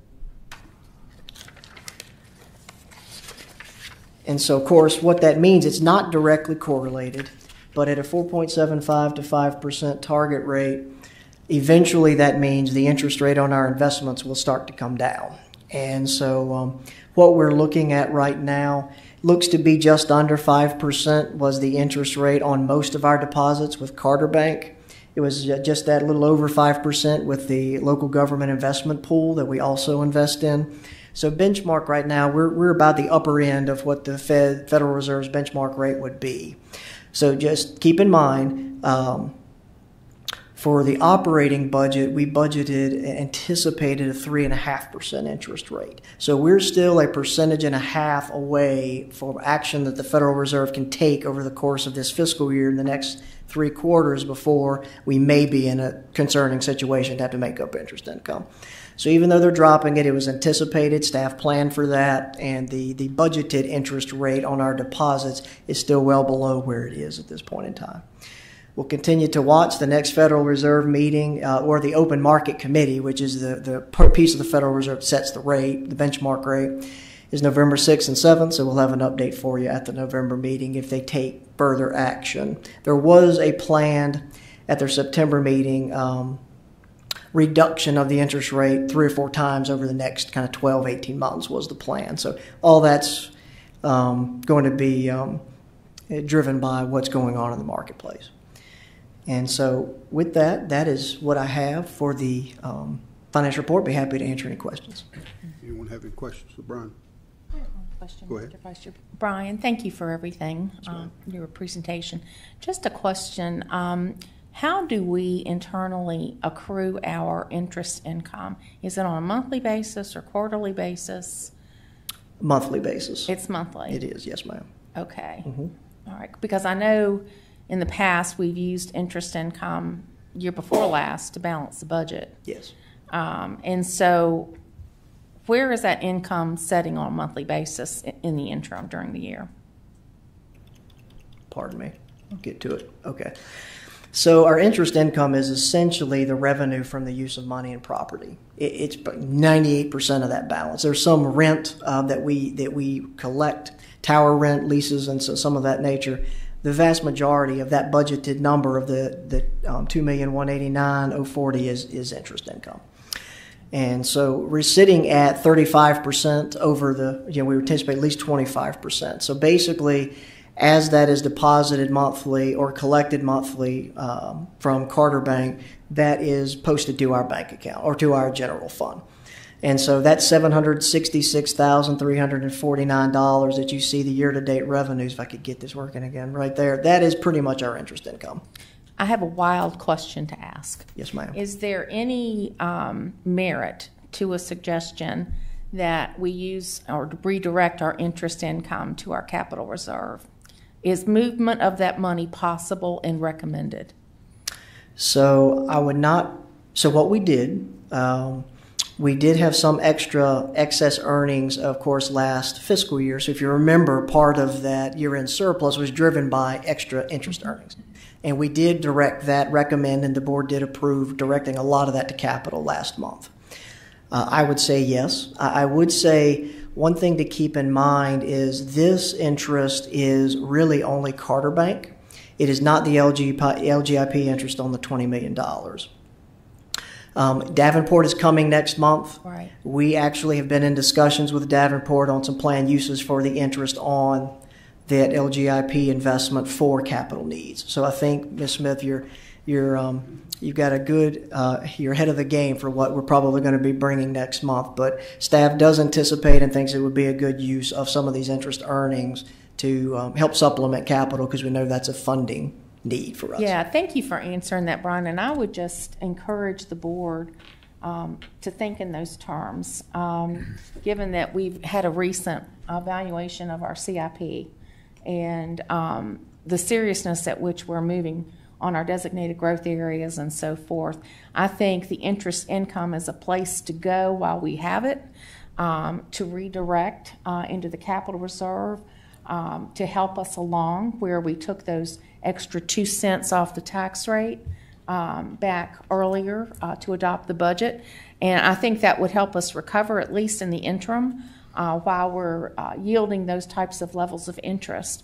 So, um, Brian, thank you for, for sharing that. And I very much look forward to learning more about your recommendation. Thank you, Ms. Smith. Yes, we're certainly looking to maximize every dollar we can for that exact reason. Thank you Uh, very much. Fiscal conservative. Thank you. Appreciate it. Moving right along. Okay. All right. Let me get out of this. The Occasional Engineering Services RFP Award. Yes, sir. And so I do not have a presentation for that. It is executive summary in your agenda booklets. And you should have an amended summary that has a red stamp on it, updated today, October 15th. So um, basically, the, the reason for that is the, the responses to the request for proposals were not due until Friday at 1 o'clock. And so that was after the cutoff for the agenda packet. So we really updated those for you. That's most of the changes that were from what you already have in your agenda booklet. So uh, what occasional services are considered? Really, the another name for that is on call. And so our procurement policy requires us, after you reach certain dollar thresholds, to obtain quotes or to go out to bid or, or request for proposals, depending on that level. And so sometimes there are projects that uh, maybe it's an emergency, maybe it's uh, you know an HVAC repair broken down, or, or maybe it's a smaller project that needs some engineering, but if you it's under a tight deadline and if we need to go for an RFP that delays it another 30, 60, even 90 days depending on the process. So a tool that local governments have or what's called occasional services or on call. This is specific to engineering, architecture engineering. And so there's some planning in there. There's also some surveying. So it was a little comprehensive in the RFP that was advertised. This is the second time we had an original RFP was advertised in 2019. It was for five years or, or five one-year contracts. So at any point that one year, you could re uh, rebid it or reissue the RFP if you wanted to. So that the last renewal ends October 31st. So it was time again, the regular cycle of procuring for services uh, to go back out. And so we did that. We pretty much uh, reissued the same request for proposals. We did, um, as of the current contract, we have 14 companies that we contract with. Uh, we actually had 24 responses to this RFP, and that list is on page two of your executive summary as far as who, um, who proposed. Most are local, regional. Uh, there are a few out of state, some areas. Um, a lot are ones that we've either used in the past, we have a relationship with, or, or we, uh, we know and would like to at least have on the list for possible work. So I think we're very familiar with this list. Uh, as far as the, um, the I would like to read the note, which is that um, no firm is guaranteed any work. So what would happen at this process is we're going to request the board to award uh, to award all 24 because it obligates us for nothing.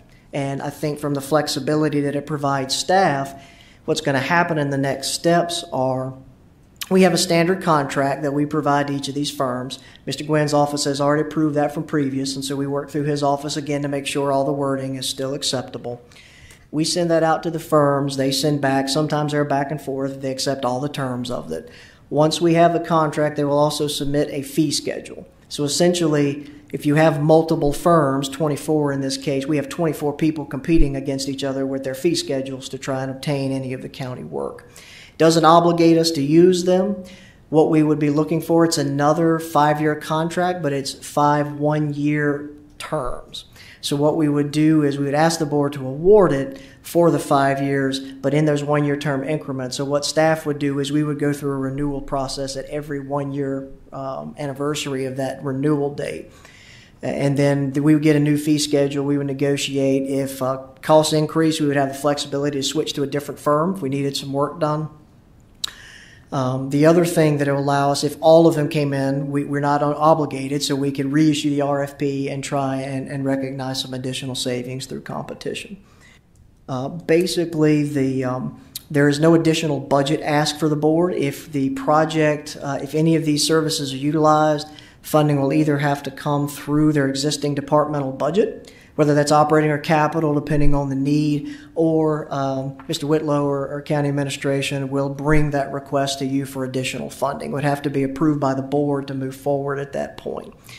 But the, the only thing we're really doing at this point is awarding the RFP to those who proposed so that staff can then follow up with a contract. And then, as needed, uh, we would use them as projects and the, as the county budget allows. So that's the overall synopsis of what staff is asking for. We have some uh, some possible board actions, but certainly be happy to go into a little more detail or answer any questions of the board. Okay. Anyone have any questions for Brian? I'm sorry, I Okay. do.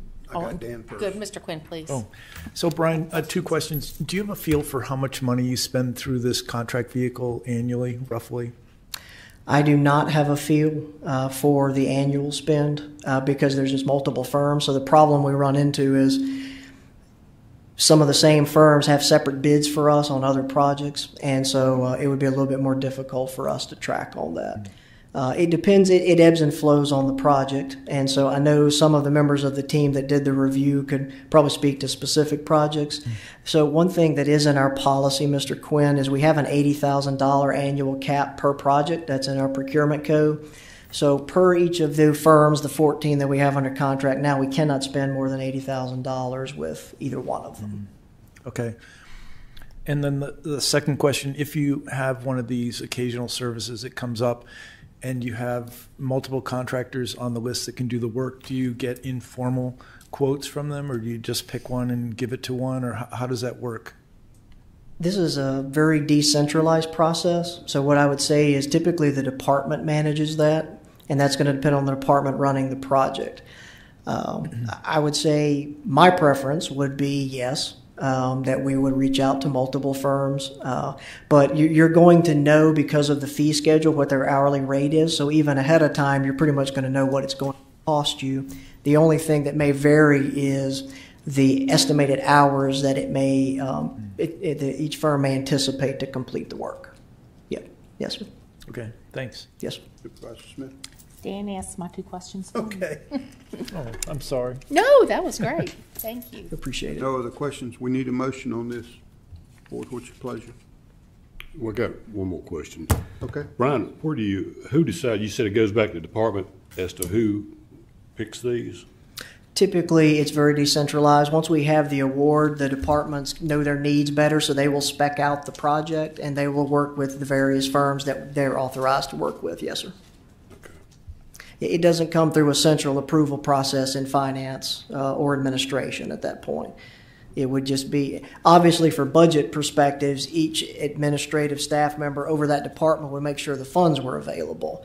But it's not a, a centralized review as far as who authorizes the use of the contract. The type of the project, uh, you know, whether it's a small or large, I mean, it- it's, if the department picks somebody, do they get your okay, get the department's okay from it? They would from a budgetary perspective to make sure that they had the money, uh, but we are not contacted to say, I would like to use, for example, Timmons Group for X such project. That's not something that is centrally managed. Yes, sir. Some of these, I mean, I, I'm assuming they know whether to get an architect or engineer one, right? Or A and E, depending on the size of the job, is what I'm getting at. Yes. Uh, well, and you know, if the Oh. job is large enough, of course, we'll go out for a separate RFP. But yeah, depending on the size of the job, what we will have are those fee schedules, and each of these companies, of course, have different services that they offer. So your specific was A and E, so you're correct. So we would have as staff a list of A and E firms we have historically used, of course, that we had a good experience with or bad experience with. So not saying that may not play a factor in what the decision may be. But each department would have access to the fee schedule every year when we renew, and then they would look to see what would fit in their budget and what would work with their need, and then they would make that decision to, to request the services. Thank you. Yes, sir. Randy, this might be a question for you. That um, presentation we were given, it was last year, it was uh, designation of um, capital improvement projects about the different buildings and stuff. Was that group one of these listed here? Uh, are you referring to the facilities master plan? Yes. Yes, that was Spectrum Design. Okay. Yes, sir. I don't really have a question, Mr. Chairman, more of a comment that uh, a lot of our departments have a whole lot of bright minds, and I know that a lot of times we're required to do these studies and stuff. But some of these studies that I've sat and watched um, unfold weren't worth the paper they were written on. And uh, I would um, express to county departments that if you think you have a good idea and you got people who are smart enough to do it, just do it, and don't spend taxpayer money on some of these studies. That's my only comment. Anyone else have anything? Okay, board, what's your pleasure on this?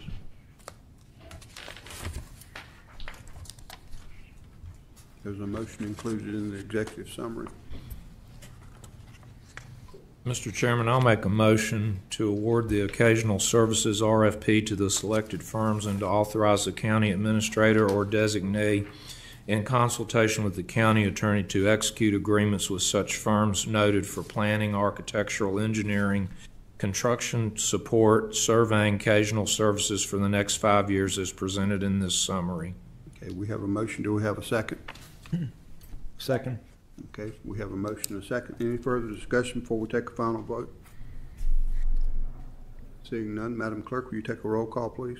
Supervisor Quinn? Yes. Supervisor Smith? Yes. Supervisor Jamison? Yes. Supervisor Mitchell? Yes. Supervisor Carter? Yes. Vice Chair Tatum? Yes. And Chairman Thompson is absent for the vote. All right, Mr. Carter, now the Benefits Consultant Services RFP? Yes, sir. Thank you. So uh, we do um, periodically, it's best practice to, of course, procure for services. Um, and so we, we had been about a little over 10 years since we last procured our benefits consultant. And so this would be the consultant that works with county staff for a lot of our, our insurances, our health insurance, our dental insurance, um, our voluntary benefits, and so they are pretty much what's considered the insurance broker. So they go between us and our insurance provider, for example, Anthem, for our health plan, to negotiate the best rate.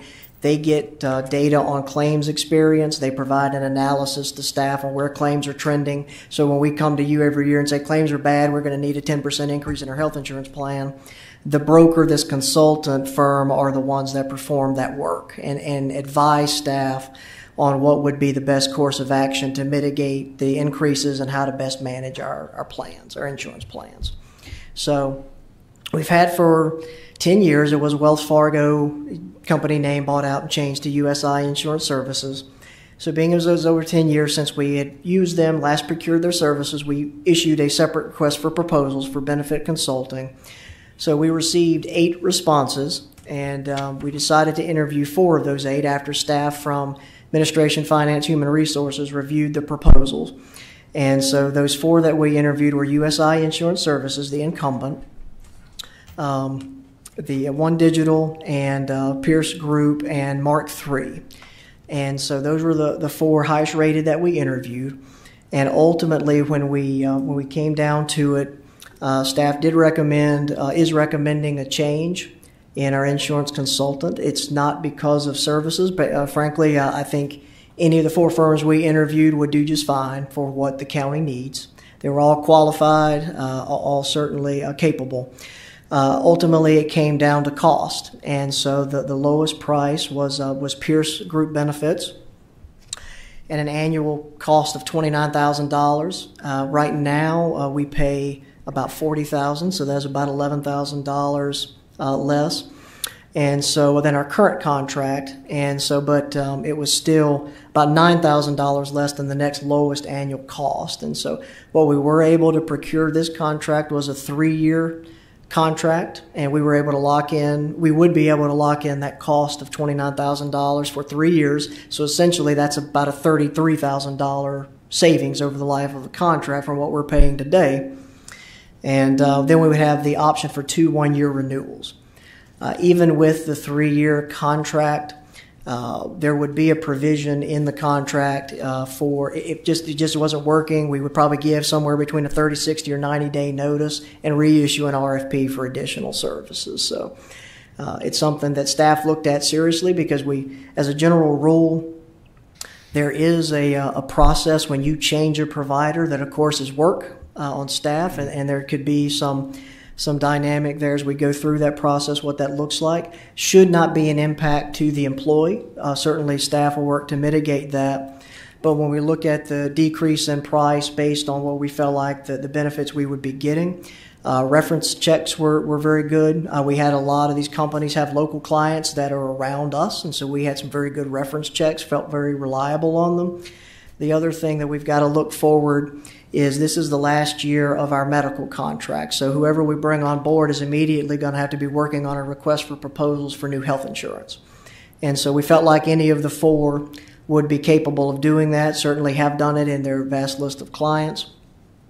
So for us, it came down to, well, that the best deal for the Franklin County taxpayer was Pierce Group Benefits. And so that's the, the recommendation of staff. Certainly happy to answer any board questions and um, look forward to a, a motion if so desired. Okay. Any questions?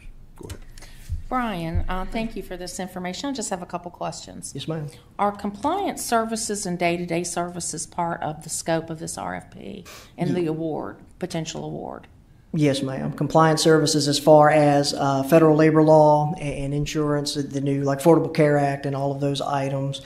Uh, assuming you'd be anticipated, but yes, that that was part of the criteria for the request for proposals, and that would be part of any contract. What about day-to-day services for the employees, where they can pick the phone up and call?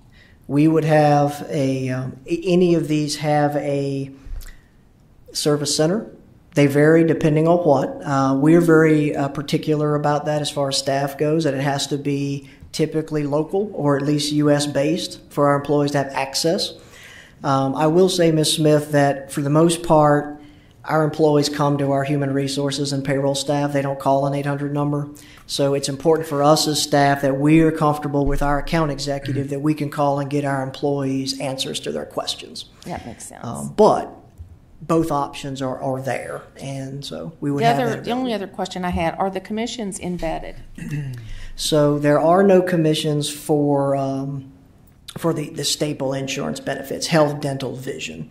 There are commissions for voluntary, and that was across the board for all of the respondents. So uh, one of the things that we as staff uh, are monitor very closely when we have involuntary benefits or things like your cancer insurance, critical illness, hospital indemnity, those type things, uh, short-term disability. So um, we uh, right now we have Unum. That that's not part of this award. That's of course a separate insurance carrier. That process will be coming up in the next year or two for a renewal, probably a reissuance of an RFP. But this broker would work on that for us. And um, I think you know that that's part of that was one of the bigger things we were looking at as part of our process of what is each any carrier, any broker that we would select. What's your process with commissions and voluntary benefits? You want you working for us, not for the commission. And so um, we felt like with any of them really um, that we were pretty satisfied with their response. But um, the the big insurance, especially the medical, that drives our costs, according to at least what they what they presented to us and what we were able to research on our own is that there's no commission based on your, your major medical, dental, and vision products. So this is an apples to apples switch between consultants with USI. The offerings would still be equitable with the, The offerings, we feel they would be for what we use. And so, yeah, bigger firms may have a lot of fancy products. Um, we just haven't used them. Uh, and so it probably was the case with USI. Um, I think we as a committee went around and, and just said, well, what do, do any of these firms offer that would justify the cost? And ultimately, it's about value for the dollar. And so when we looked at the core services that we would need, it looked to be that all were equally uh, prepared and capable. And so ultimately, it came down to okay, well, who can do it for the most value, which is the lowest cost? Thank you. Yes, ma'am. Mr. Quinn? Um, Brian, uh, so this reminds me that I didn't like the acquisition strategy we had for the um, the benefits plan in that we put it out to bid and the first year was very competitive, but in the four forward years, we were really at the mercy of the provider. And I, and I understand the reluctance to go out to bid every year because it's a lot of work issuing that RFP. But it made me think that there are probably some metrics that we could have for those forward years so that the forward years are not a negotiated deal every year, but instead you look at the, the metrics that you put in place and you know exactly what your rate will be in the forward years. And, and so this company has a lot of experience with the 30 other counties and 100 school systems. And I can't imagine that they're following this similar strategy that we have. I, I would think that they would be looking at, at other ways to to bid out the, their work, and so it'll be really interesting, I think, to get them well to get their point of view early on in, in terms of what best practices are for bidding out our benefits. Right. Yeah, and so and we'll certainly ask that. You know, our previous um, currently our USI recommends, and the guidance that we have received is, uh, and this is just what I've seen in the local government industry. Um, you start to lose competition because a lot of these insurance providers, specifically medical, they don't bid on one year. The volume's not there. The, they bid on two, three, four year contracts. And so the advice to us from our current consultant was you really only have two providers in this marketplace that has the network, and that's Anthem and Aetna. So if you if you if they can't make it cost competitive, neither one of them are going to bid, and then we're we're stuck. And so um, that's the advice we heeded with USI. Uh, I think certainly with a change in provider, we're going to, as I mentioned, Mr. Quinn, it's time for a request for proposals for medical. So I think we are going to look at the best contract we can negotiate that allows us the flexibility to save as much money as we can on those, give us as much leverage as we can possibly obtain. I know, and so when I think about metrics for the forward year, you know, they all they always look at claims history, right? So they look, what did you do last year, and that becomes a big component of what your rate is going to be for the forward year. So that's fine. That's a, that's very fair to have that metric be part of the equation for what the rates will be in the next year are is your claim history in the prior year and then there are probably others you know maybe there's like a cpi for medical you know somewhere or and and you could have a, a whole formula that said okay this is what we pay the first year but here's the formula to, pay, to for years two through five certainly yeah we will be happy to to ask that anyone else Okay, this requires uh, a motion as well. Board, what's your pleasure?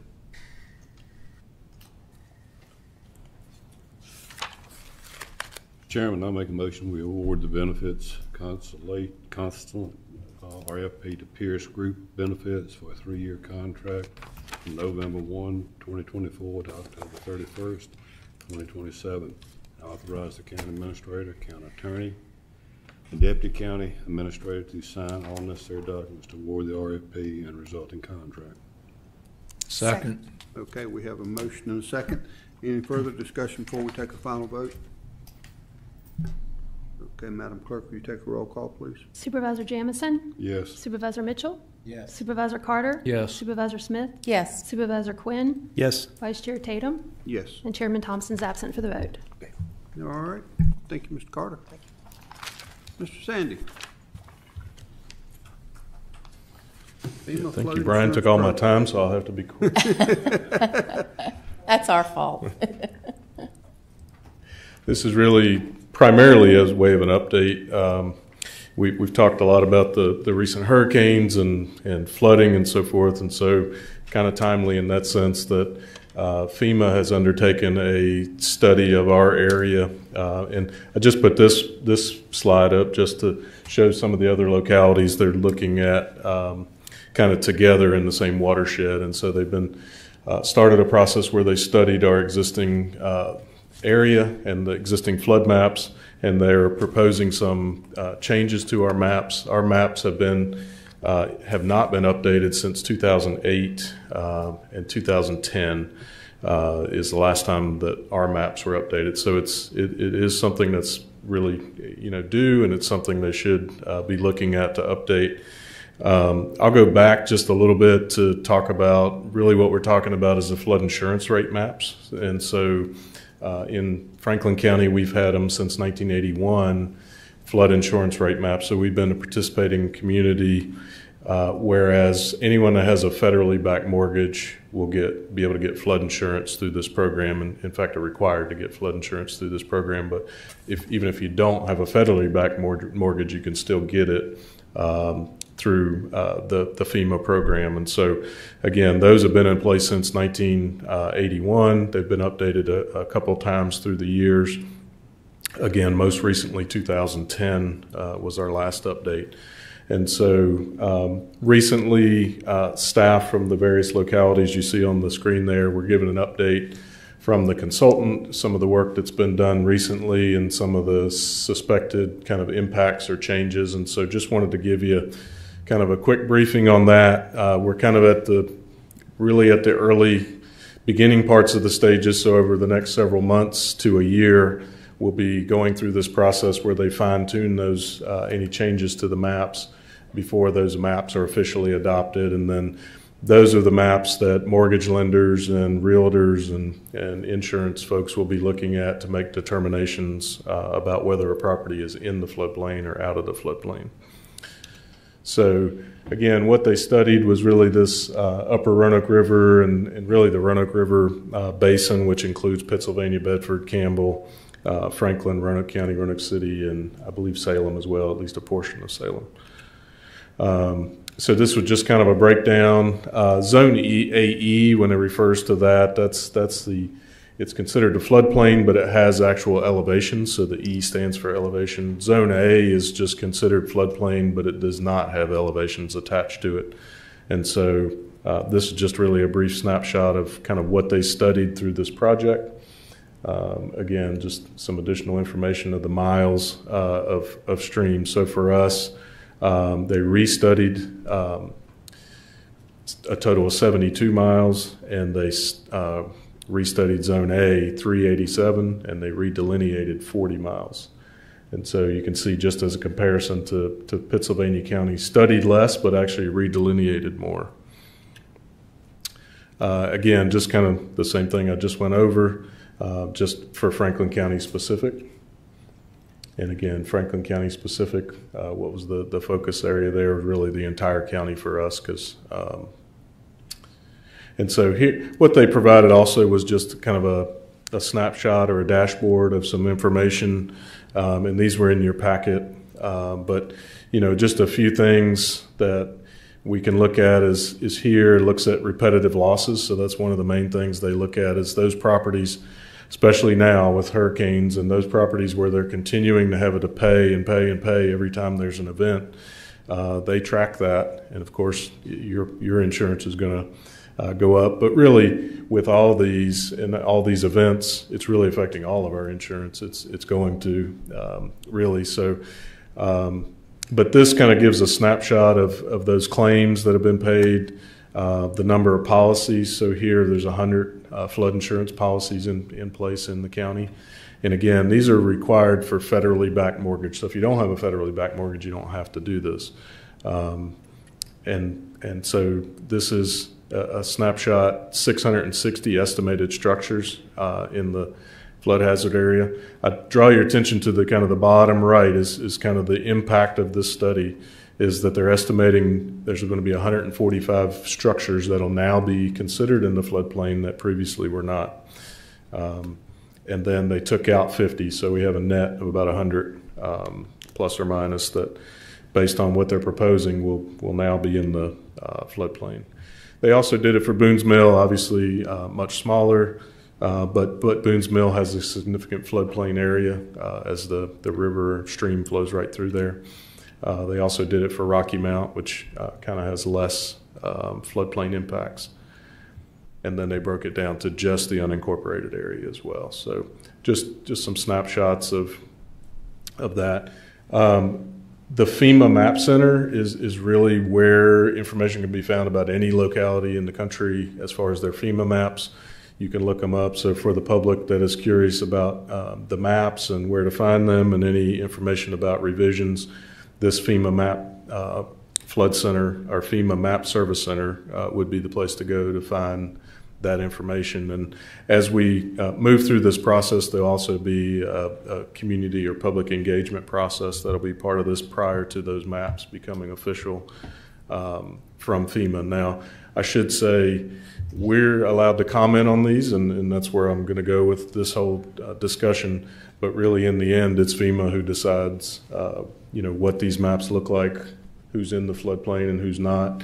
Um, that's really a, these are FEMA federal maps, federal insurance maps, and so kind of it is important for us to to comment, obviously, and, and express any concerns we have. But I guess what I'm saying is we have little control over the final outcome of, of these maps. So um, locally or, or, statewide, DCR uh, is Department of Conservation and Recreation. They're kind of the, the state entity that kind of manages the floodplain. And so here's a link as well to the Virginia Flood Risk Information System. Uh, again, if, if people are looking for more information about uh, flood mapping and, and floodplains, this would be the place to go.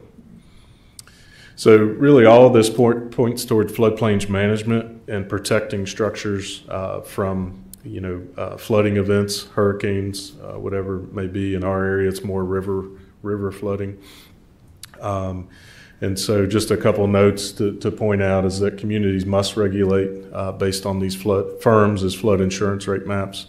Um, development should be reasonably safe from flooding. So, as we review building permits and other development proposals here at the county, we're looking at these maps to determine if they fall in one of these designated areas. Based on that, there are certain requirements uh, for building. Uh, if you're in a flood zone, you're not uh, actually able to, to build a habitable structure except under very limited circumstances. And so, um, again, just reflecting back on some of the recent incidents that have happened now, I think uh, the North Carolina examples maybe are, are, are, are extreme examples, uh, but generally we're, we're trying to get buildings away from those rivers and away from those creeks getting them elevated up. So when we do see those increase, uh, water levels, that these properties are protected. Now, I don't know what they considered those storms in North Carolina, but um, I would say that there was probably some that uh, never thought they would see water. I'm sure um, that that did in that case. But we, we do try to manage uh, as best we can in these floodplain potentially uh, areas. Um, we want to elevate them and we want to do different things with the mechanical systems and electrical systems to, to try to alleviate any impacts uh, on the structures. So again, I just mentioned briefly kind of about the timeline, but this is kind of the timeline that they sent us. Uh, so we are really, uh, the, the, the meeting was in this area or here, I'm sorry, the meeting was in this area. What they've told us is we have 30 days to respond with, with comments to these maps, initial comments from the county. Uh, so that's the period we're in, and that period ends on October 25th. Um, staff has a, uh, we have a group of staff folks who are looking over these maps and kind of generating some of those comments. Uh, we have some specific comments, but there's also some general comments, and I'll just kind of jump into those. One is one big one is Smith Mountain Lake. Um, Smith Mountain Lake is uh, properties along the lake do fall in the floodplain, and so um, lots of those properties, uh, and many of you are familiar with those. Lots of those properties, those the structures are well above the lake. However, because part of their property falls in the floodplain and it touches the lake, a lot of those property owners have to uh, go through a process of disputing that their house is outside of uh, a flood hazard, and so they have to either hire an engineer or surveyor in most cases to go out and fill out a form uh, or do a letter, what's called a letter of map amendment, to change the actual map to show that their structure is outside of any uh, designated flood area. And it, once they do that formal process, they don't have to pay for flood insurance. Um, some people won't go through that process. They'll just go ahead and pay the flood insurance, figuring it's it's probably just cheaper to do it that way. So there are processes that come into place, but where we see um, a, a, a, big impact is at the lake. And, and one of the things we're questioning as a staff is, is what those elevations are. So I'll throw out some numbers, but, but full pond at the lake is 795, 790 feet uh, elevation. The study area and the, the project boundary area is 800 feet above sea level, or 800 feet contour.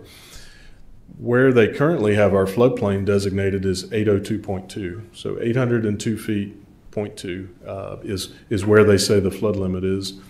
Um, so that does obviously have an impact on property owners. So property owners at the lake are already restricted below 800. They cannot build below the 800 foot contour.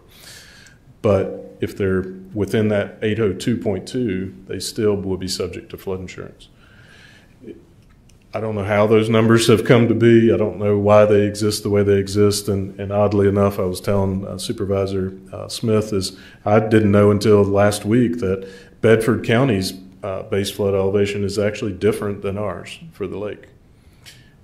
I don't know why that is. And so those are some of the comments that, that we're going to generate um, maybe some further explanation of those numbers because those numbers do have an impact on our citizens and, and having to either get flood insurance or, or go through a process to get out of requiring flood insurance. So um, Bedford County's is about half a foot lower than ours. And so I don't know if it tilts or, or what, but uh, I would think the elevation would be the same on both sides of the lake. Um, so those are the sorts of questions that we have is, is how did those numbers come to be? What's the rationale? Why is it higher than 800 if the, if the water, theoretically, the water will never be over 800 feet. Um, and so why are we two and a half feet above that? But those are the sorts of comments that we would like to issue. We do have some specific ones that we've identified as well that we have some questions and concerns about. And so we'll be working to generate a letter with the board's approval, and that's really the only motion or action that I was looking for was just uh, either a motion or concurrence to, for staff to go ahead and file some of those comments that we have initially um, and get those into FEMA's hands. So maybe they'll make some changes uh, to, to modify those. Um, and then, as I mentioned, we'll have another process later where we'll actually have another opportunity for, for some feedback. Um, as we get closer to actually those maps becoming official. So that's really just kind of a quick update and uh, happy to provide any additional information if you need it beyond what was in your packet um, or happy to answer any questions. Otherwise, just questions? looking for support for, for a letter to, to send up. Mr. Smith. Thank you. Mr. Sandy, you and I have talked about this. Um, one of the things, and I don't know if it's embedded in staff comments or not, um, we were victim of having to go through this process with FEMA. And my comment is, and it's you guys probably know this, when they have taken 50 lots off of their list, according to the report, um, are they looking at those properties that really are not subject to flooding? Like, for instance, ours was for families to have to go through this process is arduous and it's expensive. And I mean, so are, do they just throw everybody in the pot and say, if you've got a federally backed mortgage, you've got to do, you've got to purchase flood insurance unless you can prove through a process otherwise? Yeah, that's generally how it works. Yeah. And so the way it, so the number that you referred to is actually structure. So there's a lot more parcels that are actually Structures, right. fall I in the floodplain, but they may misstated, be vacant. Um, and so typically when it's a structure is, is that insurance company or lending agency is going to want to, they're going to want to make you get flood insurance unless, like you said, unless you can demonstrate through a process and through a, a, form that they have um, that you're outside of, of that area. Um, and so I think what the reason we're seeing additional structures come in is because they're delineating more areas within the floodplain. So areas that previously were not designated as floodplain are now designated, and so that's what that's really what the 150 structures are. The the negative is because there was some nuances and some adjustments in some areas. Um, what they've tried to do as part of this process is kind of true up their maps based on better technology and better uh, topographic information. So probably for an instance like yours probably didn't change. I haven't looked specifically at yours, but it probably did not take you out. You're still probably in what's considered uh, the floodplain, or at least your parcel is. Yeah, because we're exempted now because Your, we- your house is likely five to 10 feet above Yeah. the flood elevation, but your parcel is still falls within uh, the floodplain. And so a lot of times those lending agencies are simply looking at a map that says, oh, parcel XYZ is in the floodplain, so you've got to have flood insurance. I just bring that comment forward as a, a real life example of what's being experienced by residents at the lake. Yeah. And, and anything that you think would be an appropriate remark to that end, if you feel it appropriate. That's, And, and the other thing with that is, it, I forget the number, there was the number of how many people, 200 and some that have already done what you did, uh, is making sure that that information carries forward and that those, you know, as those maps change, that you're not having the same, let's say you refinanced, that you're not having to go through that process again. And so making sure that that information kind of moves forward is also something where, you know, we want to make sure that the, the dollars that people had to spend, that they didn't kind of waste it, that it's still valid. Um, and, and then again, that big discrepancy, I think, between Bedford and, and Franklin as far as the elevation, um, you know, it's only like half a foot, but it's still half a foot and it's half a foot less. So in my opinion, we should at least be the same as that. Um, but I really think it should be lower, um, you know, lower than that. Will you bring a report back We'll, to the we'll provide a copy of, Down the road when we get some, sure, yeah, further update. Results? Mhm. Yeah, and we'll provide a copy of the letter that goes out in the, in the Friday packet. uh, in the form, I'm talking about when FEMA comes back and says this is the, this is the end product. Yes, yeah, we Okay. can do another update at Okay, that point. thank you. Anyone else? Go ahead, Mike. J- Just one comment, and you may or may not remember this, Steve, but I had a constituent, it doesn't just affect the lake. I had a constituent that was on the upper end of the Blackwater River, up on a very high hill, and it was low, and they were trying to sell their house, and it got held up by the bank because these older maps showed it being in a floodplain, and it really wasn't. Do you think these, some of these houses or parcels they've taken out, maybe they've addressed those issues? That's, that's a lot of it is, is kind of correcting those technology issues. You know, obviously they're not doing a physical survey of, of all the properties, so they're just going off overlaid maps. And so, yeah, that, that's supposed to be what some of the refinements are is, is kind of fine tuning some of those issues. But you're exactly right. You know, we've got some river areas where people are 100 feet above the water. Uh, but their property goes all the way down to the to the Right. river, and so they're Calls them in. Yep, yep. Okay, thank you. All right, anyone else? So I'm hearing no issues with moving forward with the comment letter. Okay, do you need a motion or consensus sign? It- there- There's a sample motion in your packet, but I think just a concurrence is also fine. I see everybody nodding, so go forward. We'll move forward then. All right. This time, we're going to take a break. We're going to take about 10 minutes and reconvene back in B uh, 75 for our work session. Uh, Board, I would suggest that you grab dinner and take it back and uh, We'll have dinner back in B seventy-five, and the first will be on special use permit being filed uh, by Michael and Janet Mercer pertaining to property located at seventy Island Drive. Uh, Following that hearing, we'll have a public hearing on the proposed boundary adjustment agreement with the town. Ms. Cooper? Yes. Thank you, Vice um, Chairman Tatum and members of the board. We are here this evening, as you said, for a special use permit for the Mercers. They're the applicants. Their property is zoned R1 residential suburban uh, subdivision district. Um, what they are here for is for a home, second, second single family detached dwelling on a lot. They happen to be located in the Westlake Hales Ford designated growth area, and their future land use designation is suburban residential, two units per acre. Um, there are no dwellings on the parcel at this time. However, the owner applicant uh, plans to submit building permit applications for this cottage, which will eventually become the second single family detached dwelling on the lot after the main dwelling, which we would consider the primary dwelling, is constructed. So, along with these two dwellings, he also, the Mercers have proposed a workshop garage to be constructed on this property. And the owners will occupy the cottage as um, a second dwelling once they finish construction on the primary structure. The sizes, the cottage will be about 1,500 square feet, two bedrooms, two baths.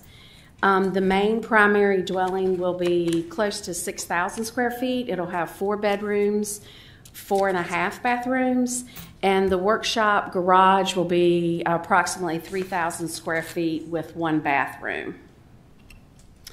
Um, they would like to construct the cottage first, and the owners will occupy this home, like I said, until their main dwelling is bit, uh, built. They're hoping to pull all the permits and try to do all the construction, especially on the home and the workshop um, at the same time. And they can, uh, the applicant could go into more detail of how they plan to do the construction. They do have a permit from the Virginia Department of Health for six bedroom septic, which would definitely be enough um, a septic system for um, what they need on the property. The property happens to be a corner lot. It's on a state maintained road, Merriman Ro- Way Road 666, and Island Drive, which is a private road. Before the Planning Commission public hearing, we did receive one call and one e- email requiring about the application. We also received uh, one call concerning about the lack of an HOA in the area, as well as uh, possible subdivision of the property. Um, the Mercers have not talked to our office about subdividing the property, and I don't think that is their intention. We like to give you a vicinity map, but before I go to that, I do want to mention um, at the public hearing for the Planning Commission, we did have five people that spoke, um, and all five were against uh, for various reasons from the septic system to um, the subdivision having a water, um, a private water company, um, about the drain field, the size of the workshop, and what it might be used for. Um, about the different septic systems. Would they have to have two or just one drain field? Just to give you an idea, and maybe some of those will be here this evening to speak. This is the vicinity map that we like to share. Also, we like to give you an aerial. Um, the property is in the blue. It goes along with um, this subdivision. It, at one time, they were separate lots, but the lots have been uh, combined to make one large lot, about 3.89 acres. Here's Merriman Road, and here's the private road, Island Drive. The, um, the comprehensive plan has this listed as suburban residential, two units per acre. It is in the Westlake um, designated growth area, as I stated prior. It also is uh, zoned R1, And you'll notice that most of the property, um, or all the property surrounding this is residential. You do have some A1 residential up here. Just in case you didn't go, be able to go see the property, um, one of the planners took some pictures. It just shows the proximity to the, the lake, how large the lot is, and this is the existing boat dock. Um, just as analysis, um, this area is mostly vacant lots or constructed with single family dwellings. The second dwelling uh, would generate uh, similar amounts of noise and traffic of any single family residence. Um, keep in mind that when you look at the R1 district, we do not think, or the Planning Commission does not think the character of the district would be changed. You have an average lot size anywhere from less to five acres or up to 7,500 square feet. It's probably going to depend on if you have public water and sewer. Uh, regulations in the R1 district are designed to maintain neighborhood sta- stability and promote suitable environment for family life, and this use would meet that intent of the district. The second um, dwelling would be in harmony with the purpose and the intent that I just read for the use, especially being single family dwellings. That's what you expect to find in your R1 zoning district. The comprehensive plan would support the different types of dwelling units that are is appropriate use that you find in suburban residential, two units, um, residential two units per acre, um, and a second single family would be allowed on this lot. The future land use does um, say that the density could be two to four dwelling units per acre. Therefore, the size of this uh, lot being almost four acres would definitely support the two dwelling units. Just remember that um, you use in accordance to section 25638 when you're making your decision on a special use permit. And it is all, was also determined that the second dwelling would not be um, substantially detriment to the adjoining property owners for the size of the lot and the second dwelling being a single family dwelling that will be used for family members once the primary structure is built. The Planning Commission held their public hearing. They approved the special use permit with five conditions on a 7 0 vote. Um, that the special use permit to authorize just this one second dwelling. So, in other words, you'll have the main dwelling, the second dwelling, only on the property. If any more residential dwellings shall be built, they would have to come back to through the process. The occupant of the second dwelling, once the primary structure is built, can only be used for family members in accordance to section 25232. In reference to condition two, the property owner shall reflect this use in an occupancy affidavit approved by the Planning and Community Development Department, and it will be recorded in the Clerk of Circuit Court office once this dwelling is used as a second dwelling. The second dwelling shall have its own address that will be clearly visible and displayed for 911 emergency um, services, and the address shall be posted so it's visible from Island Drive as well as the dwelling itself. And the applicant and property owner will have to ob- obtain all permits for all the structures from the building and the planning department to use and occupy the second dwelling. I would be glad to answer any questions that you may have. Any questions for Ms. Cooper? Go ahead, Ms. Thank you, Mr. Chairman. I just have one, uh, Ms. Cooper. You said the neighborhood has a water system, but it looks like they have plans for a well. Is that correct? Yes, yes, sir. Somebody spoke about the private private water company, um, so that they wouldn't have to drill drill a well, but that would be up to the Mercers if they wanted to get on with that private water company. Okay, thank you. Anyone else? I'll reserve mine. Okay. After the public hearing. All right, I don't see anyone else. Are the Mercers here? I think they are. Yes. Okay, would they like to speak to- in regards Yes, to? I think so. Specific question. Does anyone have any questions for the Mercers? Thanks. I don't think anyone does. I just have a big family, Okay, and we have another family that lives in You can come up Come- and come on speak. up. They would be glad to hear from you. Mm-hmm.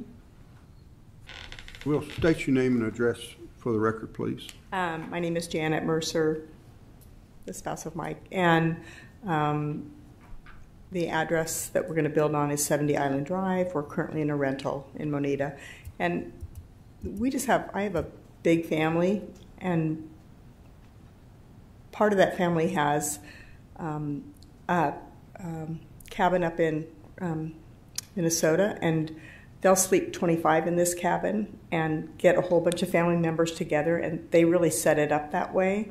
And that generation of our family is um, getting older, and not very many of them left anymore. And we talked about this, and I know our neighbors like think we're trying to build too much, but it's our intent to be able to have our family members come and visit us and do a very similar sort of thing for our family. So anyway, I just wanted to pass that on. Okay, thank you. So. All right. um, Right along. We'll open the floor now for public comment. Madam Clerk, do we have anyone signed up for this? Um, I only had the Mercers signed up. Okay. All right. Is anyone here that would like to speak in regard to this zoning request? Okay, seeing none, I will close the floor for public comment. Okay, board? Go ahead. Thank you, Mr. Vice Chair. Um, First of all, I'd like to welcome the Mercers. Um, Thank you for your application. Um, I just, um, just had just a couple few things here. With respect, Ms. Mercer, to your comment about the large family and, you know, over time, the family, of course, is getting smaller. Um, Can you come up to the podium so I can make sure that everybody can hear you? Thank you so much. Uh, my question is Do you envision um, this to look something or behave like a short term rental? Is No. it is it going to be something that's consistent or is it sporadic holidays? No, it's no, it's intended to be for holiday use. I have Okay. family. It we don't we don't have any intent to do a, a short term rental. I wouldn't want to get into that business. Well, they're prohibited in, Right. in R1, but I just didn't know if, you know, the no, fact it's that it's like having family come out to visit for a week or two weeks at a time. Um, I could envision my sister coming out from Colorado, Sure. maybe even staying part of the summer with us. Sure. And so, no, it's just family use. Okay. I just wanted to clarify Yep, that. Yep. Thank you. Yeah, you're welcome. Ms. Cooper, would you mind coming up? Um, on the conditions that the Planning Commission have appro- has approved, um, I would like to ask uh, my colleagues, um, and I want to ask you about the appropriateness. I would like to add uh, condition number six, which speaks to AEP. Um, on uh, the paragraph above the Commission's recommendation, um, Mr. Holthauser opined on AEP and, and just clarified the issue about the, um, the S and P and the 800 foot, so forth. Uh, and in number five, we talk about permits from the Franklin County Building and Planning Departments, but we don't say anything about AEP. And if it would be the pleasure of the board, I would like to add a condition six that articulates basically what AEP has said in the development team comments. Do you think that is appropriate in your planning expertise? You, you could definitely make that a condition, and you could always put that the applicant and owner shall obtain all required permits from Appalachian or AEP. Yeah. And you don't have to list everything that No. you listed. We could just do it as simple as that. I just want a simple condition, but just basically, it just looks like to me almost an oversight that we didn't pick up on AEP's comments, and I just would like to add that. Okay. Anyone else have any comments or questions? Okay, seeing none? I'll Board, offer you- a motion, Mr. Mr. Vice Chair. Um, I find that the use will not be of substantial detriment to adjacent properties, that the character of the zoning district will not be changed thereby, and that such use will be in harmony with the uses permitted by right in the zoning district and with the public health, safety, and general welfare to the community. Therefore, I move to recommend approval of the applicant's request for special use permit with the amendment of uh, condition number six to articulate AEP's uh, stated position on individual permitting required through AEP, uh, and that this be for the purpose of a home and second single-family detached dwelling on a lot in accordance with Section 25-223 of the zoning ordinance with the six conditions recommended.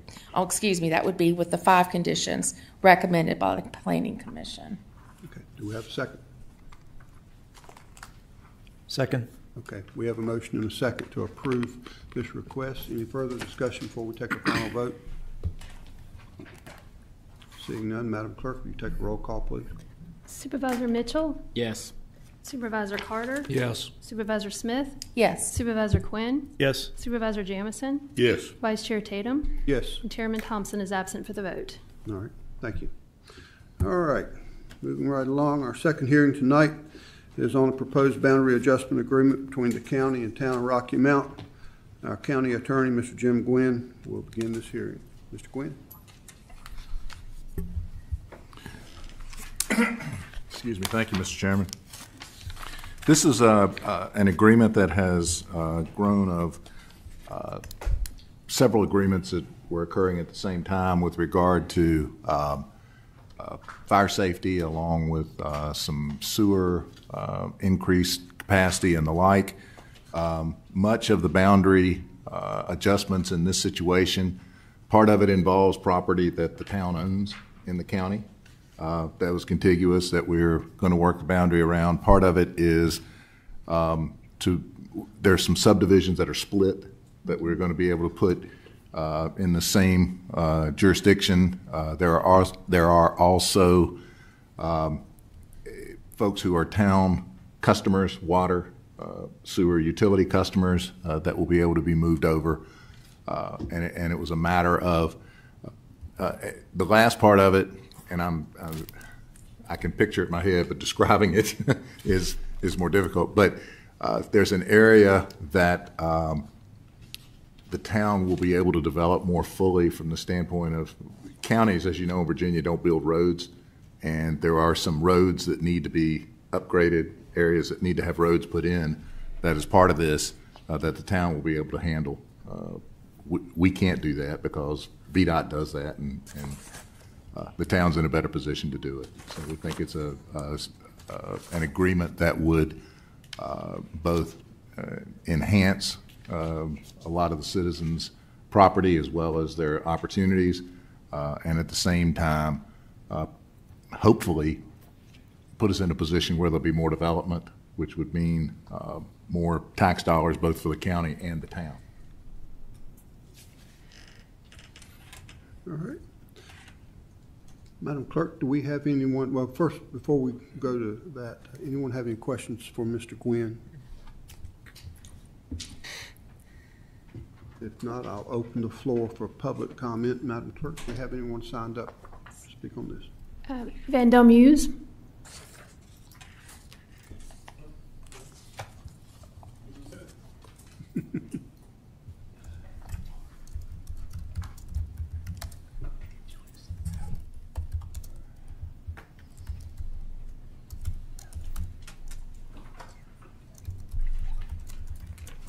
If you will, state your name and address for the record, please, Mr. Muse.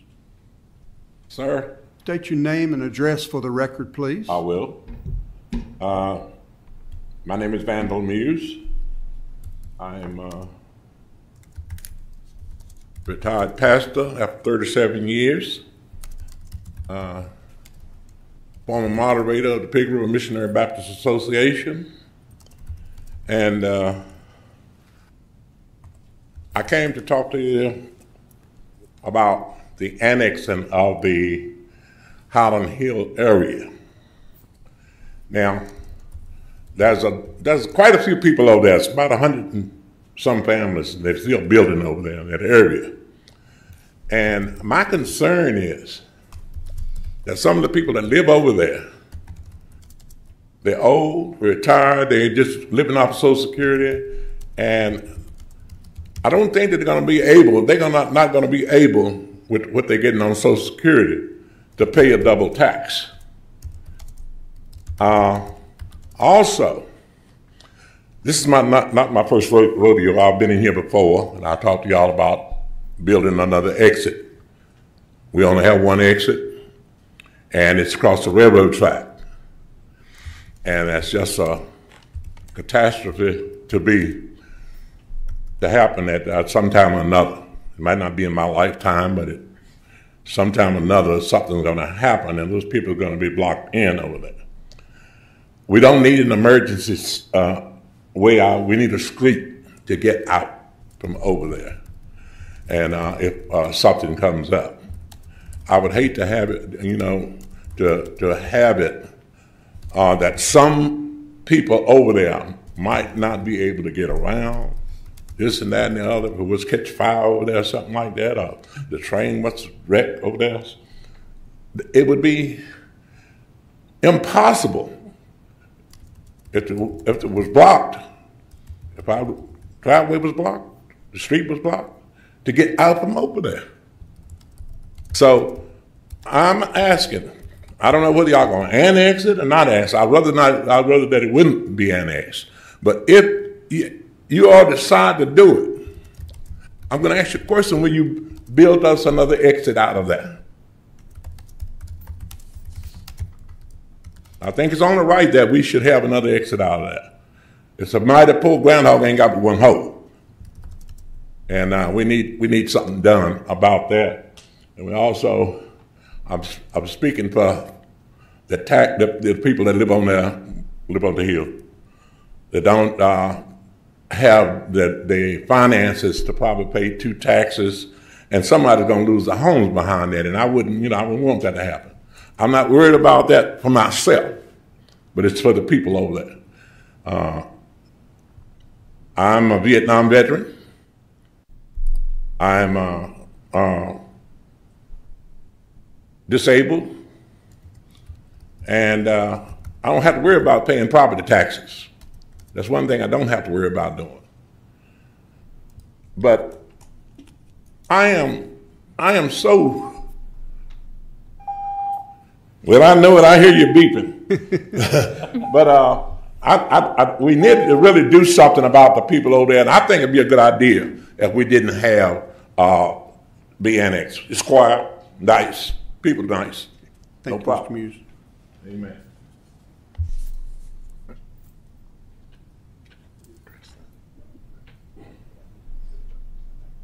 So can I get an answer? No, sir. This is not a two-way conversation. This is a public, this is a time for the public to speak. Oh, okay. The board okay. doesn't speak at this. Yes. Now, when, when can we get an answer? Uh, I think the town's gonna meet on this later on, so it'll be Okay, their final decision. Thomas Young,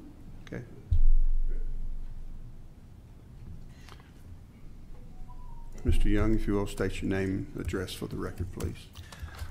My name is Thomas Michael Young, 60 Belmont Drive, Rocky Mount, which is in the Tanglewood Hills subdivision. I am not really in favor of this annexation, and I don't really understand the reason for these particular parcels of land being selected to be annexed, particularly in regards to the um, reason that it was given in the statements published on the website under why are the town and county proposing a boundary line adjustment, it says there is also an issue of equity or fairness. People that live just outside the town limits typically enjoy and receive many, sometimes all, of the benefits of town services, but they do not pay town taxes. This means that existing town residents and businessmen essentially subsidize town service for all of those that are living outside of town limits, a situation that can be argued is unfair for town residents and businesses. Frankly, I'm insulted by this statement because I, as a resident of Tanglewood Hills, outside in the county part, not the town part, have been paying a higher water rate and sewer rate for almost 40 years. So the town to me seems to have benefited by me being on town water and paying a higher rate than town residents. And if the logic of the annexation is to make it fairer for the residents of town to uh, not have to subsidize me anymore as a moocher off of town. Um, I don't see why other parts of the county that have access to town water are not being annexed also. So I need a better explanation as to why these particular parcels are being annexed. Also, in the statement, there's another part that is not accurate. Uh, for example, many people that currently live outside of town limits in Tanglewood Hills or Diamond Avenue, Circle View Street, Highland Hills Road cannot get out of their neighborhood without driving on streets that are maintained by the town. I do not know about these others. I only know about Tanglewood Hills. When I moved in in 1985, there were no roads in the Tanglewood Hills subdivision in the town of Rocky Mount. You entered off of Scufflin Hill Road into the block I live on, which is entirely in the county. So if you're putting out statements about reasons for annexation and you have things that aren't tr- accurate in there, I think you need to investigate and explain a little more about why you're annexing. Thank you. Thank you.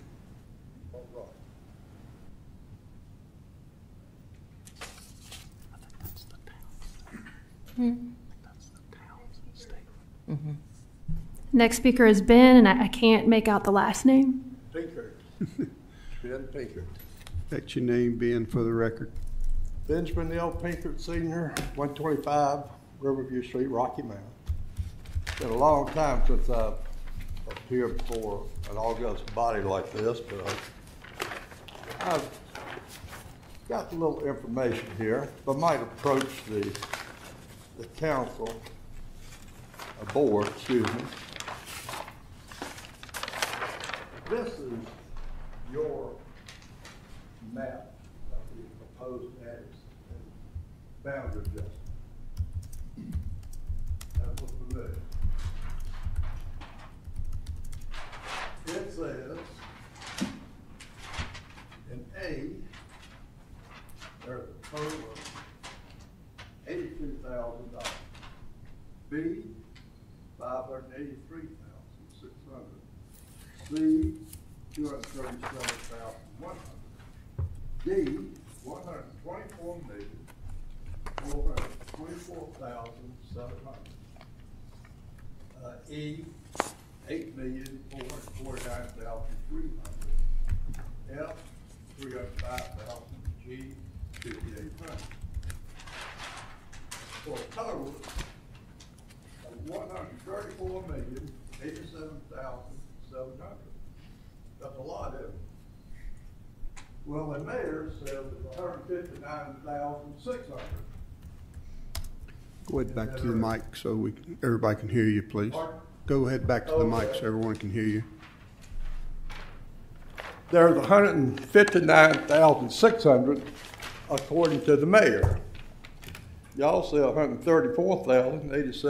seven hundred. Well, I say thirty-nine million nine hundred four thousand one hundred is all the real estate in that whole annexed boundary adjustment.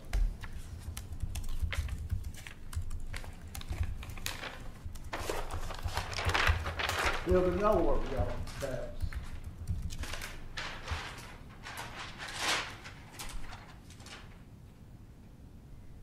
This is Diamond Avenue Extension. What do y'all see?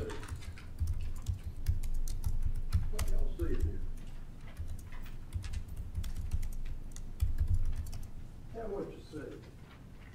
I don't see anything. Twenty-five million and so many dollars. Go back to the mic, please. Uh-oh, oh, loud enough for everybody to hear it.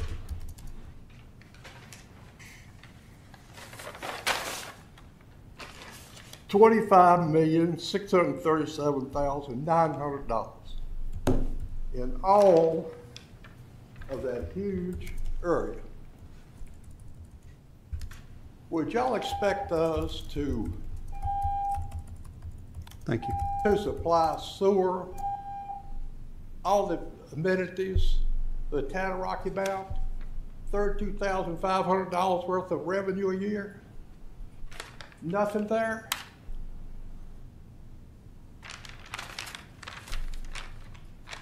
You know, I don't, you know, I'm, I'm a little bit perturbed about the mayor. I want to know where he got one hundred fifty-nine thousand, one hundred fifty-nine thousand six hundred dollars worth of new tax revenue, uh, tax base. When there's thirty-nine million. Thank you for your comments, Mr. Pinkert. Your Pardon time- me? your- Your time's up. Thank you for your comments. Been up already? Well, I was gonna crack down on y'all on the sewer plant. Y'all screwing us on the sewer plant too. Thank you for your comments. You'll leave us four hundred thousand gallons of growth in Rocky Mount of all kinds if the sewer plant thing goes through. Four hundred thousand gallons. We get to ninety-four percent, we get into probably a ten or fifteen million dollar expansion. We get screwed. Thank you for your comments, Mr. Pinkett. Next speaker, please.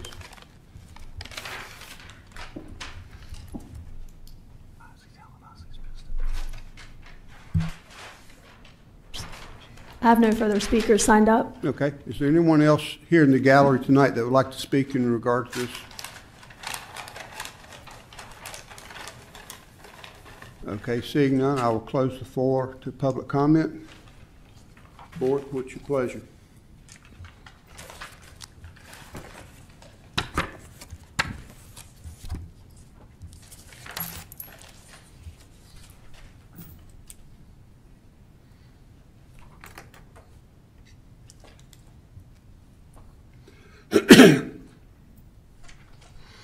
Don't everyone speak at once. I just have a couple comments. Um, I wish we could have heard the rest of Mr. Pinkard's comments. I think there's a lot of valid information there that's going to be more detrimental to the town, which I represent, versus the county. Uh, Mr. Muse, as far as your comments, if this does go through, it would be up to the town to build that road. That's, that's one reason for this annexation is to get it into one body so you all can get an in or an out. So I would recommend that you show up at the town council meeting and, and talk to them about the road if this goes through. For me personally, I wish that the um, fire truck had been separated out from this as one entity so that we could put that to rest and then move forward with the rest of this, but it didn't work out that way. So my vote, when it comes to a vote, is going to be for the funding of the fire truck is the main, main thing for me, and I, I don't know what the rest of you all think. Anyone else?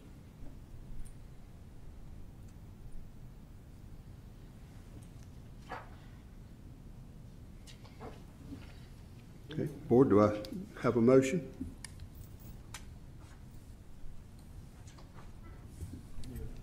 I'll make the motion, Mr. Chairman. Okay.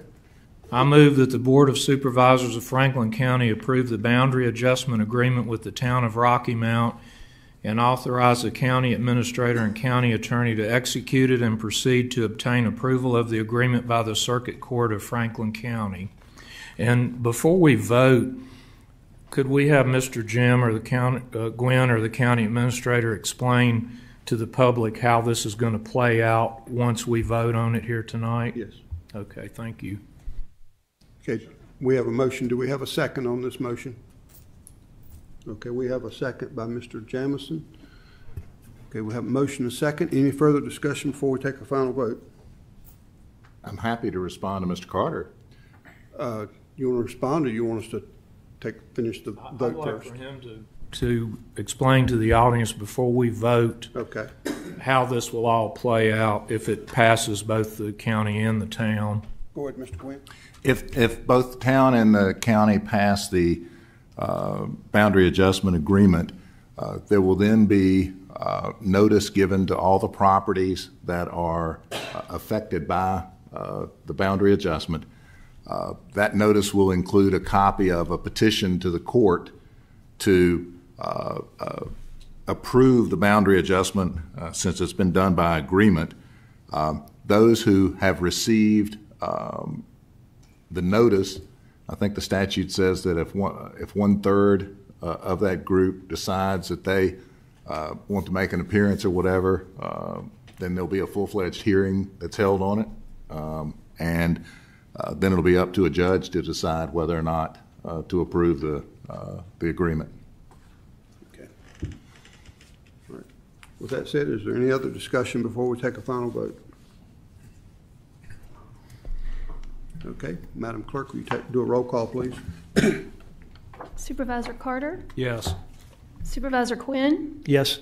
Supervisor Jamison, Yes. Supervisor Mitchell, Yes. Supervisor Smith, Yes. Vice Chair Tatum, Yes. Um, and Chairman Thompson is absent for the vote.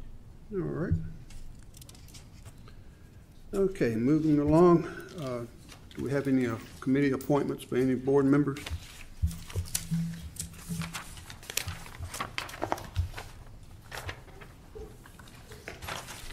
Saw the one that we were given, uh, it's in the Boone District, so Ronnie's not here. Um,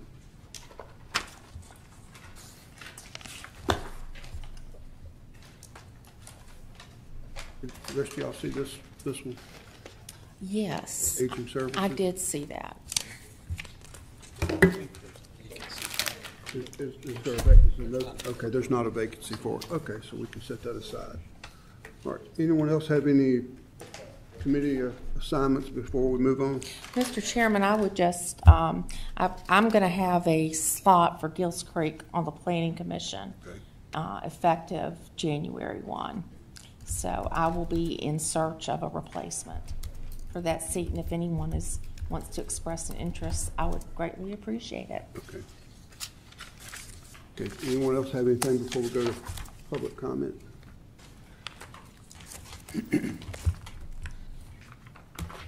All right, ladies and gentlemen, we have reached the time set aside in our meeting for public comment. Public comment gives citizens an opportunity to address the board in person or in writing on matters appropriate to the responsibilities of the board. Each speaker will be limited to three minutes for their comments. Speakers must direct all comments to the board as a whole and not to individual board members or employees of the board or county. Personal attacks or insulting, profane, or vulgar language will not be tolerated. Likewise, commentary on issues that are not within the purview of the board and that are not a function of local government and over which this board has no control are not acceptable. Public comment is a, not a question and answer session, and board members will not answer questions during public comment. If a speaker violates these rules, the chair may rule the speaker out of order, and upon a second violation, have the speaker removed from the podium. Madam Clerk, we have anyone signed up for this? Mr. Keith Johnson, Okay, Mr. Johnson.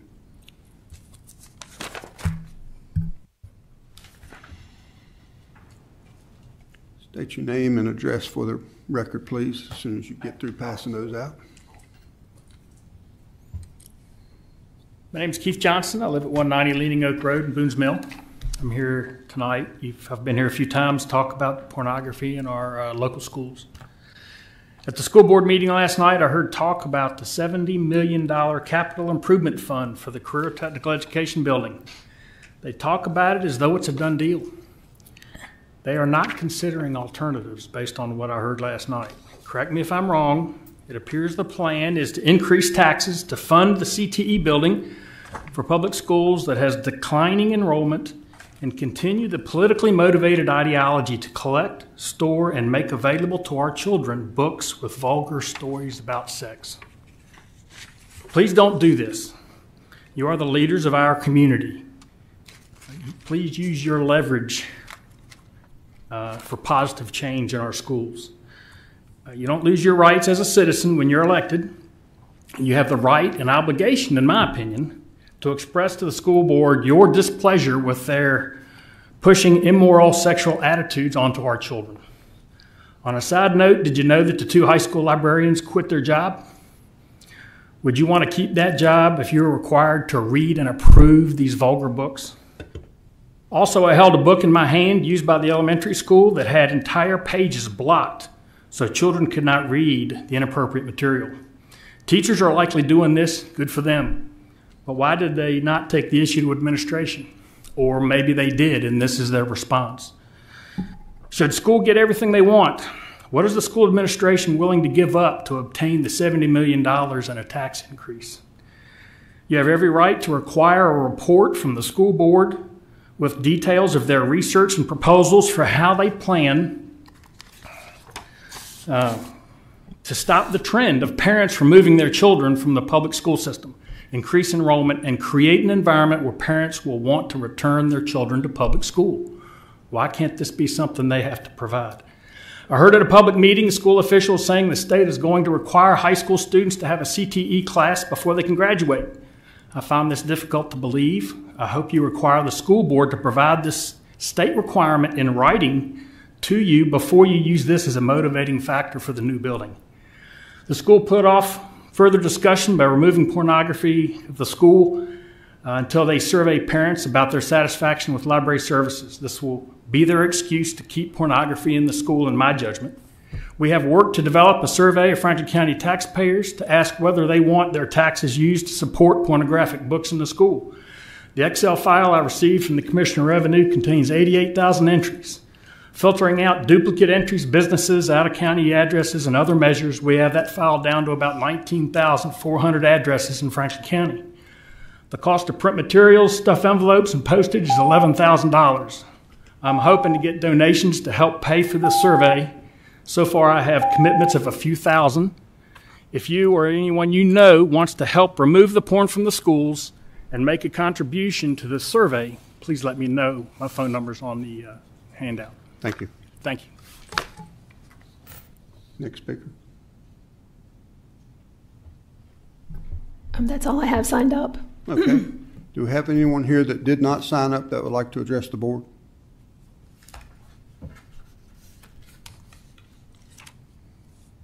Okay. Seeing none, I will close the floor to public comment. And moving on to other matters for supervisors. I will start over here to my immediate left with Mr. Jamison. You have anything? The only thing I'd like to say, is voting time. Urge everybody to get out and vote. It's an important election. Mhm. Okay, going to my right, I'm gonna come back over here, uh, coming over here to Mr. Quinn. No, I'm all set. Okay. I see that Mr. Mitchell stepped out, so Mr. Carter. I don't have anything tonight, Mr. Chairman. Thank you. All right. Ms. Smith? I'm going to hold mine. You what? I'm going to hold mine, so I have nothing for now. Okay. Did Mr. Mitchell leave Uh, or? Okay, he said he had to check out.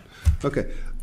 I just have one thing, uh, in lieu of the recent storms that have hit part of our state and North Carolina and Tennessee, and then the other storms, and possibility of having more coming up, I would like, I think we need to get with Public Safety and the Sheriff's Department and review our uh, critical incident uh, policy and procedures as far uh critical incident plan.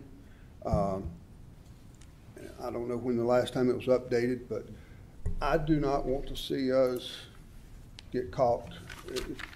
That storm so easily could have come, you know, further east and, and, and we, we could have seen massive da- damage. So I don't want to see us get caught with our hands, uh, thrown up in the air, not knowing what to do. So let's, let's get together and, uh, put together a plan. I know we have one. Let's see how it needs to be updated, see what we need to do to, to make it more, uh, things we need to consider. Do we have enough shelters in the county? If there's a mass power outage, do we have enough shelters throughout the county? Um, do, you know, how, how can we assure basic necessities, you know, from, from our standpoint? Uh, and maybe we're the lucky county in the region, but maybe our neigh, one of our neighbors gets hit hard and we want to be available to, to assist our neighbors as well. So I'm just throwing that out there, something for future discussion. Mr. Carter? You, you kind of sparked something I was thinking about the other day, and that's the water treatment plant. sits right on the banks of the Blackwater River within, I don't know, 100 yards or less. And uh, I- don't know if that's our responsibility or the town, but that needs to be looked at as potential mitigation if there was a disastrous flood. I know, I think we're tied into that new water line, but I don't know if it goes to that plant or bypasses it, but that should be looked at. I- If I may, Mr. Chairman, um, excellent um, thoughts and so forth regarding um, local emergency operations planning. We are required by code of Virginia to have an emergency operations plan. We do, uh, and it, it has been updated in recent years, but it's not to say with re- recent events, I know a lot of national attention on local emergencies. Um, so what what we can do, uh, certainly, I, I think as a board to assist, and I was sharing with the chairman earlier, I don't think anyone prior to tw- 2019 thought that Franklin County would ever experience an F3 tornado, uh, and we did. Uh, and so um, when that happens, uh, we, we declare local emergencies and, our emergency operations plans put in place. We have our emergency operations center here in the building now, uh, was recently relocated. Um, we have a very active local emergency planning committee that includes the towns of Boones Mill and Rocky Mount. It also includes the water wastewater treatment plant, Mr. Carter, that you mentioned. In addition, the local health department, Salvation Army. There's a lot of those things, but it's a reminder to me um, that the governing body often is not necessarily involved in these local emergency planning committee meetings. So, um, Mr. Vice Chairman, Mr. Tatum, to your point, uh, we certainly could get information out to the board about our emergency operations plan, but even a step further, um, maybe a review of that uh, would be helpful at some point with with with our local board um, for you as as the locally elected board of supervisors to to hear about that, and we can work with our public safety director and, and emergency staff to pull, pull that maybe a session together for the board at a future board meeting. Absolutely. I, you know, I, we, I would hate for, you know, a year from now, storm come through and we get hammered and we say, boy, I wish we had planned better. You know, if we'd only known that we needed, you know, six sites to where people could go for, you know, water, you know, whether it's fire departments or schools or what for shelters, we need to make sure that, one, if we identify this location as a shelter, make sure that location has what it needs to to supply the people that may call on it, because it's no good to send the, tell people, okay, if you live in Glade Hill, you can go to Glade Hill Fire Department for, you know, hot shower, hot food, whatever, and then we don't have the resources there. We need to make sure that we don't get caught flat-footed on this. But thank you, and, and that's something we need, let's, let's jump on that, and, uh, and, you know, all the entities, the sheriff, uh, public safety, uh, town of Rocky Mount, the school system, uh, you know, uh, water and sewer, uh, landfill, I mean, there's, there's roles for, for, there's plenty of roles to go around. And uh, I just want to make sure we don't, because I know a lot of these localities, I know Eric was just telling us earlier, you know, their guys went down and helped places in North Carolina. I'm sure those localities never dreamed that they would have seen, I mean, I've been through Chimney Rock years ago. It's no longer there. And, you know, that's, you know, you can't plan for everything, but if you don't plan, you know, the old saying, if you fail to plan, you plan to fail. Let's make sure that we don't fall into that. Thank you. Anybody have anything before we wrap it up? We need to go into closed session, so I will have uh, Supervisor Smith to read the motion, please. I will, Mr. Chair- Vice Chair, thank you. I would move that the Franklin County Board of Supervisors enter into closed meeting in accordance with Section 2.2-3711A1, personnel discussion of appointments to county boards, commissions, etc. A, three, discussion of the acquisition of real property or the disposition of real property. A5, discussion concerning a prospective business or industry or the expansion of an existing business or industry. A7, consultation with legal counsel on briefings by staff about litigation or other specific matters requiring legal advice. A29, discussion of the terms of a public contract of the Code of Virginia as amended. All right. Do we have a second? Second. Madam Clerk, you take a roll call, please. Supervisor Smith? Yes. Supervisor Quinn? Yes. Supervisor Carter? Yes. Supervisor Jamison? Yes. Supervisor Mitchell is absent. Um, Vice Chair Tatum Yes. and Chairman Thompson is absent for the vote. All right, we will reconvene. Y'all want to go back to ARC or B seventy-five?